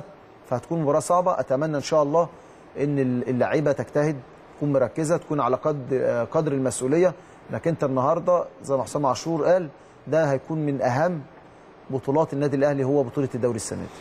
طيب كابتن أسامة نخش على ملف آه، منتخب مصر. كده إحنا قفلنا مع حضراتكم ملف النادي الأهلي وكواليس المعسكر والكلام الخاص بمعسكر النادي الأهلي وأيضا ب مباراة المقاولين والنادي الأهلي اللي إن شاء الله هتكون يوم الأربعاء القادم. كل التوفيق للنادي الأهلي في المباراة وإن شاء الله تكون مباراة الحسم لبطولة الدوري المصري الممتاز. طبعا المنافس هو نادي الزمالك عنده لقاءين آه، مهمين جدا قبل لقاء الأهلي والزمالك. لقاء منهم هيكون بكرة إن شاء الله أمام نادي الجونة. كابتن أسامة بطولة الأمم الأفريقية أنا عارف إنك عندك كلام كتير جدا جدا لكن عايز تبدأ منين؟ هل تبدأ من التنظيم ومنتخب مصر ولا نبدأ من النهاية وفوز الجزائر ببطولة أفريقيا؟ أنا عارف إن يكون في بعض التصريحات ما عجبتكش وبعض المشاهد ما عجبتش الكابتن أسامة حسني اللي حابب إن هو يعلق عليها فتحب نبدأ منين؟ نبدأ من التنظيم ودور مصر والدولة المحترمة اللي اللي من أربع شهور بس عرفت تنظم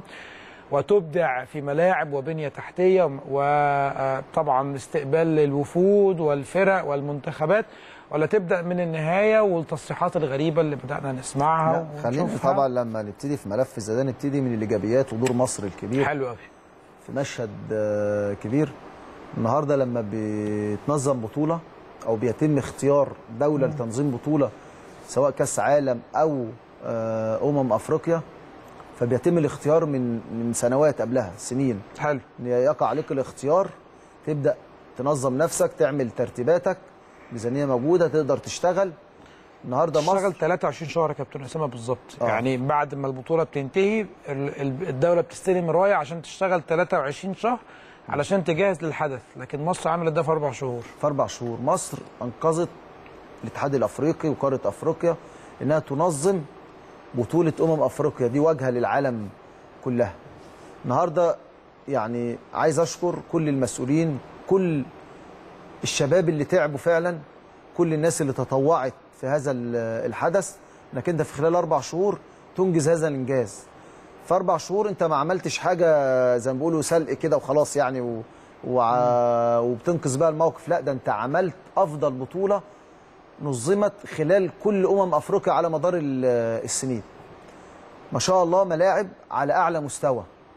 أنا كنت في فرنسا وكنت بتفرج على مباراة الجزائر ومباراة كوت ديفوار. مع يعني بعض الجزائريين كنت بتفرج هناك على المباراة. كنت بسمع تعليقات ال- ال- ال- ال- الجزائريين والعرب على شكل الملاعب المصرية وهي موجودة. على الإخراج على الإبداع. الناس كانت مبهورة باللي نظمته مصر في تنظيم أمم أفريقيا. إحنا ما إحنا ما نروحش بعيد. إحنا كنا في الجابون من سنتين وشفنا التنظيم وشفنا الملاعب. لا أنت النهارده مصر عملت حدث كبير جدا. نرجع ورا في بداية حفل القرعة واختيار منطقة الأهرامات والتنظيم آه، الوفود اللي جت آه، وحفل القرعة. والأساطير اساطير أفريقيا اللي كانوا موجودين. حفل ال- الافتتاح والتنظيم. الحضور الجماهيري الكبير في مباراة مصر. كنت أتمنى يكون نفس الحضور في المباريات الأخرى لكن برضو الشكل العام أو الشكل المجمل كان آه، شكل مميز. الحاجة الثانية المهمة برضو وانت بتشتغل على الملاعب انت بتشتغل على كل الجوانب المحيطة في الملاعب كل الشوارع اللي حوالين الملاعب في تيسير سهولة الحركة والانتقال للملعب ال- الركنات بتاعة الملعب. موضوع تذكرتي بيتعامل الفن آي دي إزاي تدخل بياناتك إزاي يبقى عندك الاي دي عشان تقدر آه، يبقى التذكرة بتاعتك. أتمنى الكلام ده يفعل بقى. يعني إحنا لما بنعمل حاجة بنعمل حاجة حلوة جدا بس إزاي نستغلها فيما بعد. ده ده المهم. ده المهم إزاي ان أنا بقى قدام الحدث دوت ما يبقاش حدث ان أنا نجحت حاجة عملتها طفرة وخلاص وقفلت ال- الموضوع. لا ده أنا إزاي اطور بقى؟ وهاجي, في عملية ال- التطوير بعد كده. زي ما بقول لك لازم نوجه الشكر لشباب يعني اشتغلت آه، بمنتهى الإخلاص. بدون مقابل. بدون مقابل. في محافظة السويس الملاعب اللي كانت موجودة في المحافظات اسماعيلية في في القاهرة. في الإسكندرية ملاعب الشباب إن دايما عشان تنجح لازم يبقى عندك عنصر الشباب عندك الطاقات ال- ال- الجبارة المتولدة دي اللي عندهم ال- ال- الحركة والحماس. فكان عنصر مهم جدا عشان إنجاح البطولة هو عنصر الشباب. وأتمنى استغلال الشباب واستغلال أفكار الشباب بعد كده بعد البطولة. إزاي يعني ممكن أستغل الشباب ده في تطوير حاجات كتير. ممكن في, في وزارة الصحة في وزارة النقل في حاجات كتير جدا إن دايما عشان تنجح لازم تستغل طاقات ال- الشباب. زي ما بقول لك كان عندك فنادق مهيئة عندك ملاعب مهيئة عندك طرق مهيئة عندك بنية تحتية تست... تستقبل بيها بعد كده مش كأس أمم. أنت ممكن تستقبل بيها كأس عالم. يعني تستقبل بيها مش هقول لك كأس عالم كبار بس على الأقل يبقى عندك كأس عالم ناشئين كأس عالم شباب. عندك كمان في بطولة جاية تبقى في شهر 11 كأس الأمم الأفريقية اللي تحت 23 سنة المنتخب الأولمبي. ده هتنظمها مصر إن شاء الله. المؤهلة إلى أولمبياد طوكيو أولمبياد 2020 طوكيو 2020 فالنهاردة ده حدث كبير برضه هيكون موجود في مصر في شهر 11 خلاص already انت جاهز. جاهز بال بال بال بالأفكار. جاهز بالشباب. جاهز بالبنية التحتية بال- بالفنادق بكل حاجة. لحدث كبير أيضا. فأنت خلاص أنت مستعد بشكل كبير. فلا يعني في تنظيم رائع. في مجهود آه، رائع اتعمل من كل المسؤولين في في الدولة وخاصة كمان أنا بوجه الشكر للشباب إنك عشان دايما تنجح لازم يكون عندك شباب هو اللي بيحرك كل حاجة. قلت الإيجابيات السلبيات عايز تبدأ منين؟ هل في سلبيات شايفها من وجهة نظر الكابتن أسامة حسني آه، خاصة بالبطولة؟ وبعد كده نتكلم في فنيات ولا سلبيات آه، آه، ليها علاقة بمستويات فنية داخل البطولة؟ لا هي لو عايز أتكلم على المستوى الفني بقى. طيب. المستوى الفني هيكون ده تحليل بقى الخبراء في الاتحاد الأفريقي هل البطولة بعد كده تكون بعد انتهاء الموسم الكروي لل- للفرق وفي الدوريات؟ انك أنت النهارده من الناحية الفنية لما أجي أقيم البطولة كناحية فنية لا هي من الناحيه الفنية قليلة. يعني مباريات قليلة هل بسبب بسبب وجود 24 منتخب يا كابتن أسامة؟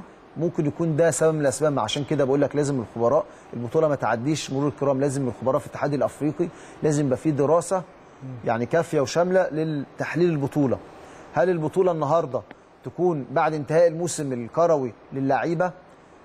عشان يبقى اللعيبة كلها موجودة بشكل كبير وانتهاء الدوريات هل ده هيدخل اللعيبة في إجهاد؟ إن أنا بقول لك زي ما بقول لك وإحنا بنتابع البطولة انت النهارده عدد قليل من الماتشات اللي فيها إثارة وفيها قوة. بس برضه مش بنفس إثارة وقوة المباراه البطولة لما كانت هي خلاص يبقى بسبب. بسبب 24 منتخب ده بدل ما فيش إثارة يا كابتن. قبل كده كانوا 16 منتخب آه. وكان في إثارة جامدة جدا. فممكن يكون وجود 24 منتخب. هم عايزين يدوا فرصة أكبر ل- لمنتخبات أكتر في قارة أفريقيا. لكن في نفس الوقت يا كابتن أسامة ده بيقتل المتعة بعض الشيء. علشان كده ده اللي بيحصل في كأس العالم. عشان كده بالنسبة لنا ال Champions League هي أمتع بطولة موجودة في العالم فيها كرة قدم. صح ولا رأيك إيه؟ لا صح مظبوط. عشان كده بقول لك النهارده لازم يبقى فيه دراسة فنية بقى. الخبراء الاتحاد الأفريقي إزاي حل البطولة؟ هل البطولة ممكن أجربها مرة تانية وتكون في بعد انتهاء الموسم الكروي في شهر ستة؟ وأجرب أشوف هل السلبيات دي هتظهر برضو بنفس المستوى الفني ولا أرجع للبطولة تاني في يناير؟ تكون اللعيبة في نص الموسم القروي ما تكونش اللعيبة آه، أجهدت. إحنا شفنا دلوقتي لما محمد صلاح خد وقت راحة وشفنا اللعيبة جاية مجهدة ما عندهاش وقت راحة كافي بدأت تدخل مع انديتها بعد البطولة. فدي حاجات محتاجة آه، تحليل. الحاجة الثانية برضو ما عجبتنيش في البطولة يعني ابتدت بشكل كويس لكن يعني ما انتهتش بشكل كويس. برغم وجود الفار كان التحكيم. التحكيم ظهر بشكل كويس في البدايات كانت ال- ال- الأخطاء والسلبيات قليلة جدا آه، برغم في الأول ما كانش آه، الفار موجود. بعد وجود الفار بدأت السلبيات تظهر آه، بشكل أكبر. فالنهاردة برضو التحكيم الافريقي محتاج إنك أنت تطور فيه ومحتاج شغل كبير فيه. ظهرت عيوب كبيرة جدا في آه، دوري أبطال أفريقيا. شفنا في مباريات مهمة جدا ومباريات حاسمة للنادي الأهلي. شفنا ال- ال- التحكيم. فأنت محتاج برضو تشتغل على التحكيم ومحتاج تطور في لجنة التحكيم في في الاتحاد الأفريقي. ممكن واحد يجي يقول لي كابتن أسامة من المحللين في الاتحاد الأفريقي إن كأس العالم بيكون بعد انتهاء الموسم كوبا أمريكا بيكون بعد انتهاء الموسم وكأس الأمم الأوروبية بيكون بعد انتهاء الموسم. فأمر طبيعي إن أمم أفريقيا يكون بعد انتهاء الموسم يا كابتن أسامة. بس أنت كأس أمم أفريقيا بتلعبها كل سنتين. حلو. كأس العالم كل المحفل أربعة. العالمي كل أربع حلو. سنين. أنا بسألك علشان تجاوبني علشان آه. خاطر لما حد يسأل يبقى جاهزين بالإجابة يا كابتن. ما أنا عشان كده بقول لك أنت النهارده كأس أمم اتلعبت السنة دي دي تجربة جديدة إنك تلعبها في نهاية الموسم. خلي بالك ليها إيجابيات برضو. إيجابيات إنك أنت كل اللعيبة بتجمعها من كل الدوريات دوري إنجليزي وأسباني وفرنسي وبرتغالي وكل الدوريات انتهت اللعيبة كلها موجودة في المحفل الأفريقي. ساعات لما بتلعبها في يناير أنت في ارتباطات أندية فأنت في لعيبة ما بتلاقيش موجودة. فبرضه دي من ضمن السلبيات. فأنت عشان تقدر تقيم الموضوع ممكن تستمر البطولة مرة أخرى في شهر ستة. تقدر بقى تقيم الموضوع بشكل أكبر. تطلع سلبيات تطلع إيجابيات وتشوف مدى نجاح البطولة. هل تستمر؟ بعد انتهاء الموسم الكروي ولا ترجع تاني في في يناير. كابتن أسامة آه، رايك في المستوى الفني بقى؟ نروح للمستوى الفني لمنتخب مصر. أكيد مش راضي عن أداء منتخب مصر الفني من قبل البطولة واختيارات اللعيبة وحتى أثناء البطولة وخروجنا المهين أمام جنوب أفريقيا في دور ال 16 أمام فريق يعتبر مش من الفرق المرشحة أصلا إن هي تكون موجودة في دور الثمانيه لكن آه. القدر يشاء إنك تخرج في دور ال 16 على ملعبك وسط جمهورك بهدف مقابل لا شيء بعد أداء باهت في ثلاث مباريات في دور المجموعات وأيضا أداء باهت في دور ال 16 رأيك الفني سريعا في منتخب مصر وتقدر تقول لي إيه عليه؟ آه، منتخب مصر كان يعني لو رجعنا من الأول كانت الاختيارات كل الناس علقت على اختيارات اللعيبة. كان في لعيبة تستحق الانضمام لمنتخب مصر. لم تنضم. آه لم تنضم. واتكلمنا وقلنا آه السوليه لازم ينضم. رمضان. رمضان صبحي لازم ينضم. كهربا،. عبد الله جمعة لازم ينضم. في لعيبة تستحق إنها تكون موجودة في منتخب مصر. لكن لما جه اختار اللعيبة قلنا خلاص يعني آه، واجب على كل الناس إنها تساند منتخب مصر في هذه الفترة بدل معاك. تم الاختيار ده. لكن قلنا يعني نورنا الطريق كده وقلنا في حاجة غلط. في بداية ال- آه، الاختيار ظهر كلام الناس بعد كده إن الاختيار زي ما الناس قالت إن الاختيار فيه غلط النهارده. لما كنت بتعمل تغييرات مع منتخب مصر التغييرات ما كانتش بتشيل الفريق. أنت النهارده أول آه، مباراة قدام زيمبابوي بعد كده ال- الكونغو بعد كده أوغندا كنت بتبدأ المباراة. فالتغييرات الشوط الثاني تبدأ تغير المفروض تشيل الفريق. فأنت النهارده كان ال- الكيرف كان بينزل. فيبقى اذا عندك اختيار في الاختيارات غلط.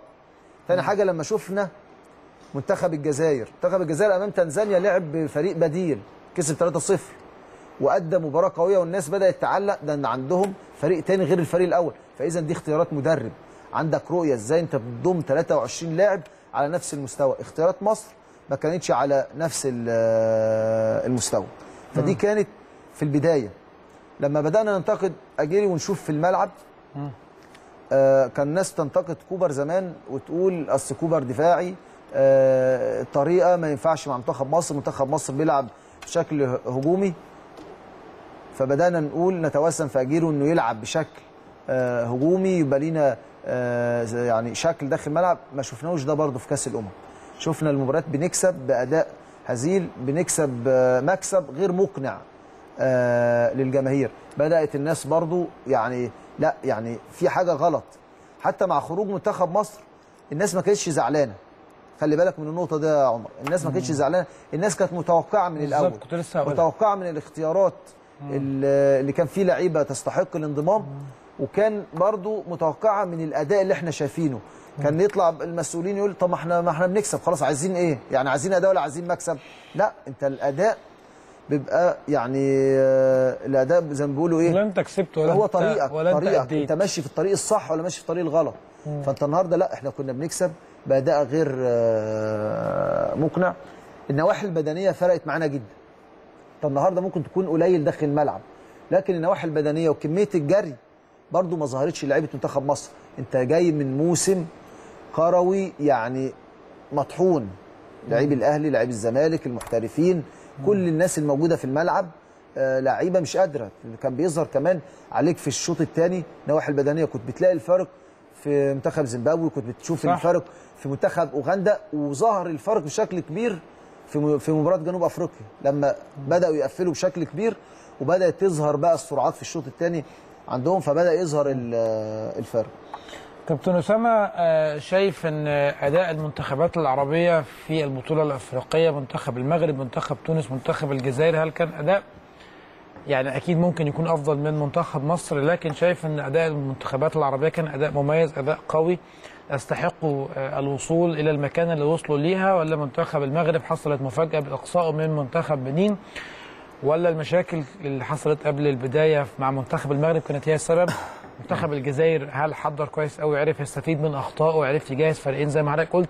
هل منتخب تونس بقيادة الان جريس والتذبذب الخططي اللي كان موجود باشراك وثلاث حراس مرمى واستبعاد علي معلول. المنتخبات العربية ممكن تقول لي تقييمك الفني ليها إيه بعد النهايه آه، لو قلنا منتخب مصر ومنتخب تونس الاثنين متشابهين في نفس المستوى. لكن الحظ أكتر لكن مع منتخب التوفيق تونس. ساعد منتخب تونس. أنت النهارده منتخب تونس عشان يوصل قبل النهائي ما كسبش غير واحد. مباراة واحدة على ما أعتقد. كانت مدغشقر. هي دي المباراة الوحيدة اللي فازوا فيها. لكن مستوى تونس هو نفس آه، مستوى مصر من ال- الأداء الفني. بالعكس م- مستوى تونس كمان آه، كان أقل. المدير الفني كان فيه تغيير, كتير. في التشكيلة. كل مباراة بيلعب بعناصر مختلفة عن المباراة الأولى. كان في تغيير في حراسة المرمى. منتخب مصر كان فيه استقرار. لكن على المستوى الفني الاثنين تشابها في نفس المستوى. منتخب المغرب ولا منتخب؟ المغرب كان أفضل من منتخب مصر وتونس. آه، كان بيقدم كرة حلوة. آه، كان عنده مدير فني آه، ليه طريقة وليه أسلوب. لكن العوامل الخارجية هي اللي أثرت على منتخب المغرب. ما قبل البطولة المشاكل ما بين اللعيبة اللمة بتاعت اللعيبة. وده يعلمنا إن الكوره مش ملعب بس مش 11 بس صح. مش 90 دقيقة بس. لا ده أنت النهارده الترابط. وإحنا كنا بنتكلم على معسكر النادي الأهلي وازاي انت بتعمل. ترابط ويبقى فيه الأسرية وفي النواحي الاجتماعية. دي مهمة جدا. العلاقات دي أهم كمان من الملعب 90 دقيقة. انت لما يبقى في ترابط عندك لعيبة بتحب بعض يبقى في تماسك ده بيعود عليك في الملعب في الملعب. ده ما ظهرش بالشكل ال- ال- الكبير في منتخب المغرب فهو ده كان سبب كبير من ضمن أسباب خروج ال- المغرب بهذا الشكل أمام منتخب آه، بنين. رغم إن كل التوقعات لما بنتكلم بنقول لا منتخب المغرب يعني هيوصل للدور قبل النهائي. منتخب الجزائر. منتخب الجزائر آه، قدم بطولة كبيرة. قدم بطولة كبيرة من النواحي ال- القتالية. دي ظهر من أول مباراة لعبها منتخب آه، الجزائر. لو رجعنا وقلنا آه، ال 23 لاعب اللي تم اختيارهم اختيارهم صح ظهر كمان لما 11 لاعب لعبوا 11 تانيين لعبوا واتغيروا. نفس الأداء نفس المستوى فأنت النهارده الاختيارات من البداية صحيحه الروح القتالية وهعلم على الروح القتالية. الروح القتالية الروح القتالية ظهرت بشكل كبير ظهرت في المباراة النهائية رغم دي أسوأ مباراة لمنتخب الجزائر من الأداء الفني. جمال بالعمري آه بالعمري آه وشه بيتفتح بيكمل ال- المباراة. دي روح قتالية وإصرار من اللعيبة. جمال بالماضي لازم أشيد بيه على المستوى الفني. أدى مب... أدى بطولة كبيرة. عنده كتيبة من النجوم قدر يسيطر عليها بالرغم دي كان من ضمن اسباب اللي الناس انتقدت عليها منتخب الجزائر في الأول. إزاي مدرب شاب 43 سنة هيقدر يسيطر على إنه يعني كتيبة كبيرة من النجوم تلعب في أكبر أندية في العالم؟ لا ده ظهر شخصيته في الملعب. لكن ما عجبنيش جمال بالماضي في تصريحاته. هو مدرب لا يجيد التصريحات وما بيعرفش يصرح كمان. النهارده لما يبقى عندك مدرب كسبان البطولة وفي مصر جزائريين الأشقاء بيعاملوا في مصر أفضل معاملة من كل المصريين. المصريين كمان نسبه مش هقول لك كلهم النسبة الأكبر بيأزروا منتخب الجزائر وكانوا بيتمنوا إن منتخب الجزائر يفوز باللقب ويطلع هو بالتصريحات دي. فده للأسف يعني مدرب لا يجيد التصريحات ما بيعرفش يتكلم. النهارده لما يطلع يتصرح امبارح يقول أنا محتاج هو الأول كان السؤال آه، آه، هل أنت شفت مدى تعاطف أو مدى تشجيع أو مدى حب من الجمهور المصري تجاه المنتخب الجزائري خلال المباراة النهائية ضد منتخب السنغال؟ ردوا قال إيه يا كابتن اسامه بقى قال لك محتاج أروح دكتور عيون عشان أشوف يعني ده أشوفه مظبوط يعني. عشان أشوف نظري اللي أنا شفته ده حقيقي ولا مش حقيقي؟ عشان هو قصده يعني إن منتخب مصر ما حدش أو ما حدش من جمهور مصر شجع منتخب الجزائر؟ لا أنا يعني ممكن أنصحه نصيحة بدل ما يروح لدكتور عيون يروح الأول لمدرس لغة عربية يعلمه اللغة العربية هي أصل العرب علشان يفهم اللغة العربية اللي المصريين بيشجعوا بيها في المدرج.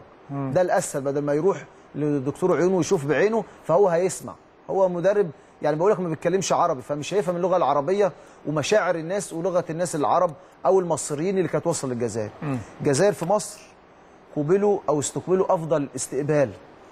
المصريين كلهم كانوا بيأزروا الشعب الجزائري.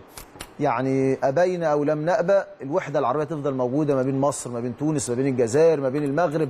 كمان حتى موريتانيا اللي كانت موجودة وكانت ضيف شرف في البطولة وكنا سعداء كمان إن فريق عربي زي موريتانيا يكون موجود وحتى يخرج بالشكل اللائق ده كنا سعداء كلنا. فإحنا كل الوحدة العربية موجودة.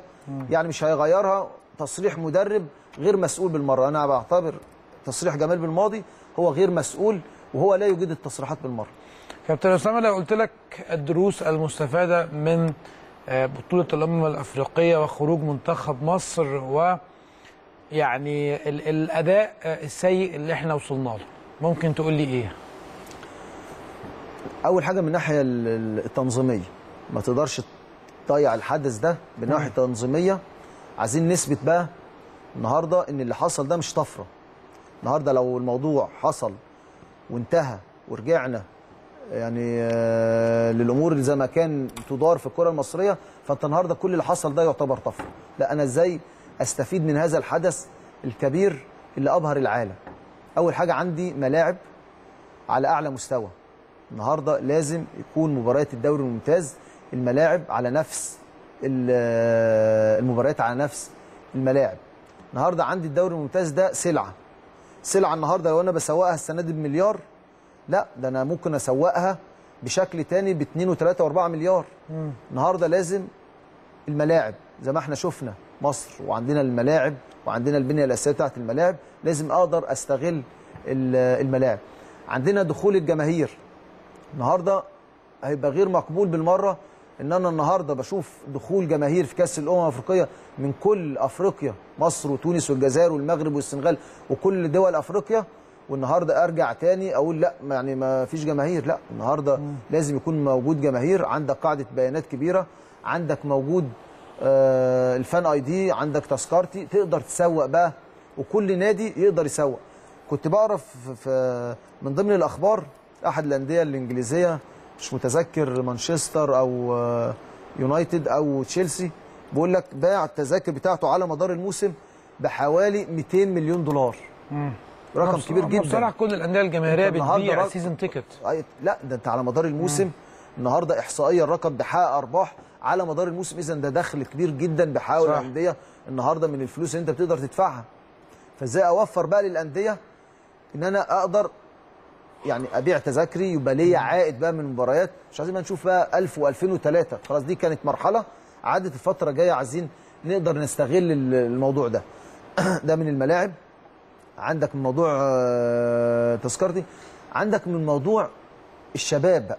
الشباب اللي, اللي, اللي, اللي كله حماس وكله قوة وكله أفكار كمان يعني متطلعة لل- لل- للحاجات الجديدة. النهارده إزاي أستغل الشباب الموجود اللي كان متطوع في السويس ومتطوع في القاهرة وفي اسكندرية. وفي إسماعيلية في الأحداث الرياضية. وكمان مش هقول لك في الأحداث الرياضية. إزاي ما تبناش فكرة عامة مثلا في حاجة تبع الصحة حاجة تبع النقل حاجة تبع السياحة واشتغل عليها لمدة سنة واست... واستغل الشباب ده واطلع الطاقات كلها والأفكار الموجودة دي. كابتن أسامة الوقت بيجري بسرعة جدا. عايز أسأل حضرتك سؤال ممكن يكون الأخير لكن عايز أعرف رأي حضرتك فيه. من ضمن الإيجابيات اللي حدثت في بطولة أمم أفريقيا انتقال محمود حسن تريزيجيه اللي إن شاء الله يتم تأكيده إلى نادي أستون فيلا الإنجليزي. وأخيرا محمود حسن تريزيجيه هيكون موجود في دوري يليق بإمكانياته يليق بقدراته. هل شايف إن دي من ضمن الإيجابيات اللي حدثت في بطولة أمم أفريقيا؟ وهل شايف محمود حسن تريزيجيه هيؤدي في الدوري الإنجليزي ويستطيع إن هو يعني العالم كله يشاهد امكانياته الحقيقية بعد ما تم آه، اختياره أو تم التعاقد معاه في الدوري البلجيكي مع اندرلخت أو سواء في الدوري التركي. آه، تريزيجيه من عمل بطولة هايلة جدا رغم خروج منتخب مصر لكن قدم آه، أربع مباريات من مستوى آه، عالي جدا وبالمناسبة هو ما كانش كمان متألق في كأس الأمم لا ده في مشوار آه، في كأس العالم آه، تصفيات كأس العالم تصفيات أمم أفريقيا فهو قدم بيقدم مستوى هايل محمود حسن تريزيجيه كمان ماشي في الدوري التركي بشكل كويس. فعلى ما أعتقد دي من يعني من أكبر الإيجابيات إنه ينتقل لدوري أقوى من الدوري التركي والدوري الإنجليزي. وده بال يعني هيعود كمان على منتخب مصر آه، آه، خلال الفترة الجايه إن شاء الله. هل إخفاق منتخب مصر في بطولة أمم أفريقيا ممكن ياثر على محمد صلاح؟ في عنده لقاءين مهمين جدا لقاء الدرع الخيرية أو السوبر الإنجليزي. ليه السوبر الإنجليزي؟ علشان خاطر مانشستر اخذ كل البطولات وبالتالي لما البطل بطل الدوري والكاس ياخد البطولتين بيلعب وصيف الدوري. وعنده أيضا السوبر الأوروبي ضد نادي تشيلسي حامل لقب كاس الاتحاد الأوروبي. هل ممكن ده يأثر عليه؟ يعني أنا أعتقد دلوقتي محمد صلاح من كم الخبرات اللي عنده. آه، يعني يعني لو في إخفاق ما يأثرش عليه لازم يتجاوزه بسرعة عشان يقدر يواصل مسيرة ال- النجاح بتاعته. وهو يعني مر كمان خرج من دوري أبطال أوروبا آه، مش الموسم ده الموسم اللي فات قدر آه، يشتغل أكتر. دلوقتي هداف الدوري الإنجليزي آه، وصيف الدوري الإنجليزي خد دوري أبطال أوروبا السنة دي تاني. فإن شاء الله يعني لسه محمد صلاح صغير ما حققش بطولة أفريقيا مع منتخب مصر كانت على أرضنا لسه عنده فرص كبيرة إنه يحقق ألقاب كتيرة. ما أعتقد دي يعني حاجة مش هتأثر عليه إن شاء الله. كابتن أسامة استمتعت بيك على مدار ساعة ونص تعبتك وسهرتك واتكلمنا في قضايا كتير مهمة لكن وجود حضرتك معايا كان شيء مهم جدا إن إحنا نوضح للجمهور الأهلاوي مدى أهمية المعسكر ووجود واحد من الكباتن والكوادر اللي موجودة في النادي الأهلي. ده كان شيء محترم جدا علشان يتكلم معاهم فنيا. ونفسيا ومدى تأثير المعسكر على لقاءين مهمين جدا وكلامنا أيضا على منتخب مصر والبطولة. بشكرك ومعلش دايما بتابعك معايا يا كابتن اسامه أنت حبيبي عمر وبسعد لما أكون موجود معاك وكل التوفيق إن شاء الله للاعب النادي الاهلي أشكرك كابتن أسامة حسني نجم مصر ونجم النادي الأهلي. كنا مع حضراتكم من خلال ملعب الأهلي وتسليط الضوء على معسكر النادي الأهلي في أسبانيا والحمد لله البعثة يعني عادت سالمة غانمة آخر الاستعدادات كانت لقاء البلاستيك وفوزه على البلاستيك النادي الأهلي أربع أهداف مقابل لا شيء والاطمئنان على الدولي. نشوفكم بكرة إن شاء الله في حلقة جديدة من حلقات ملعب الأهلي. تصبحوا على خير والسلام عليكم ورحمة الله وبركاته.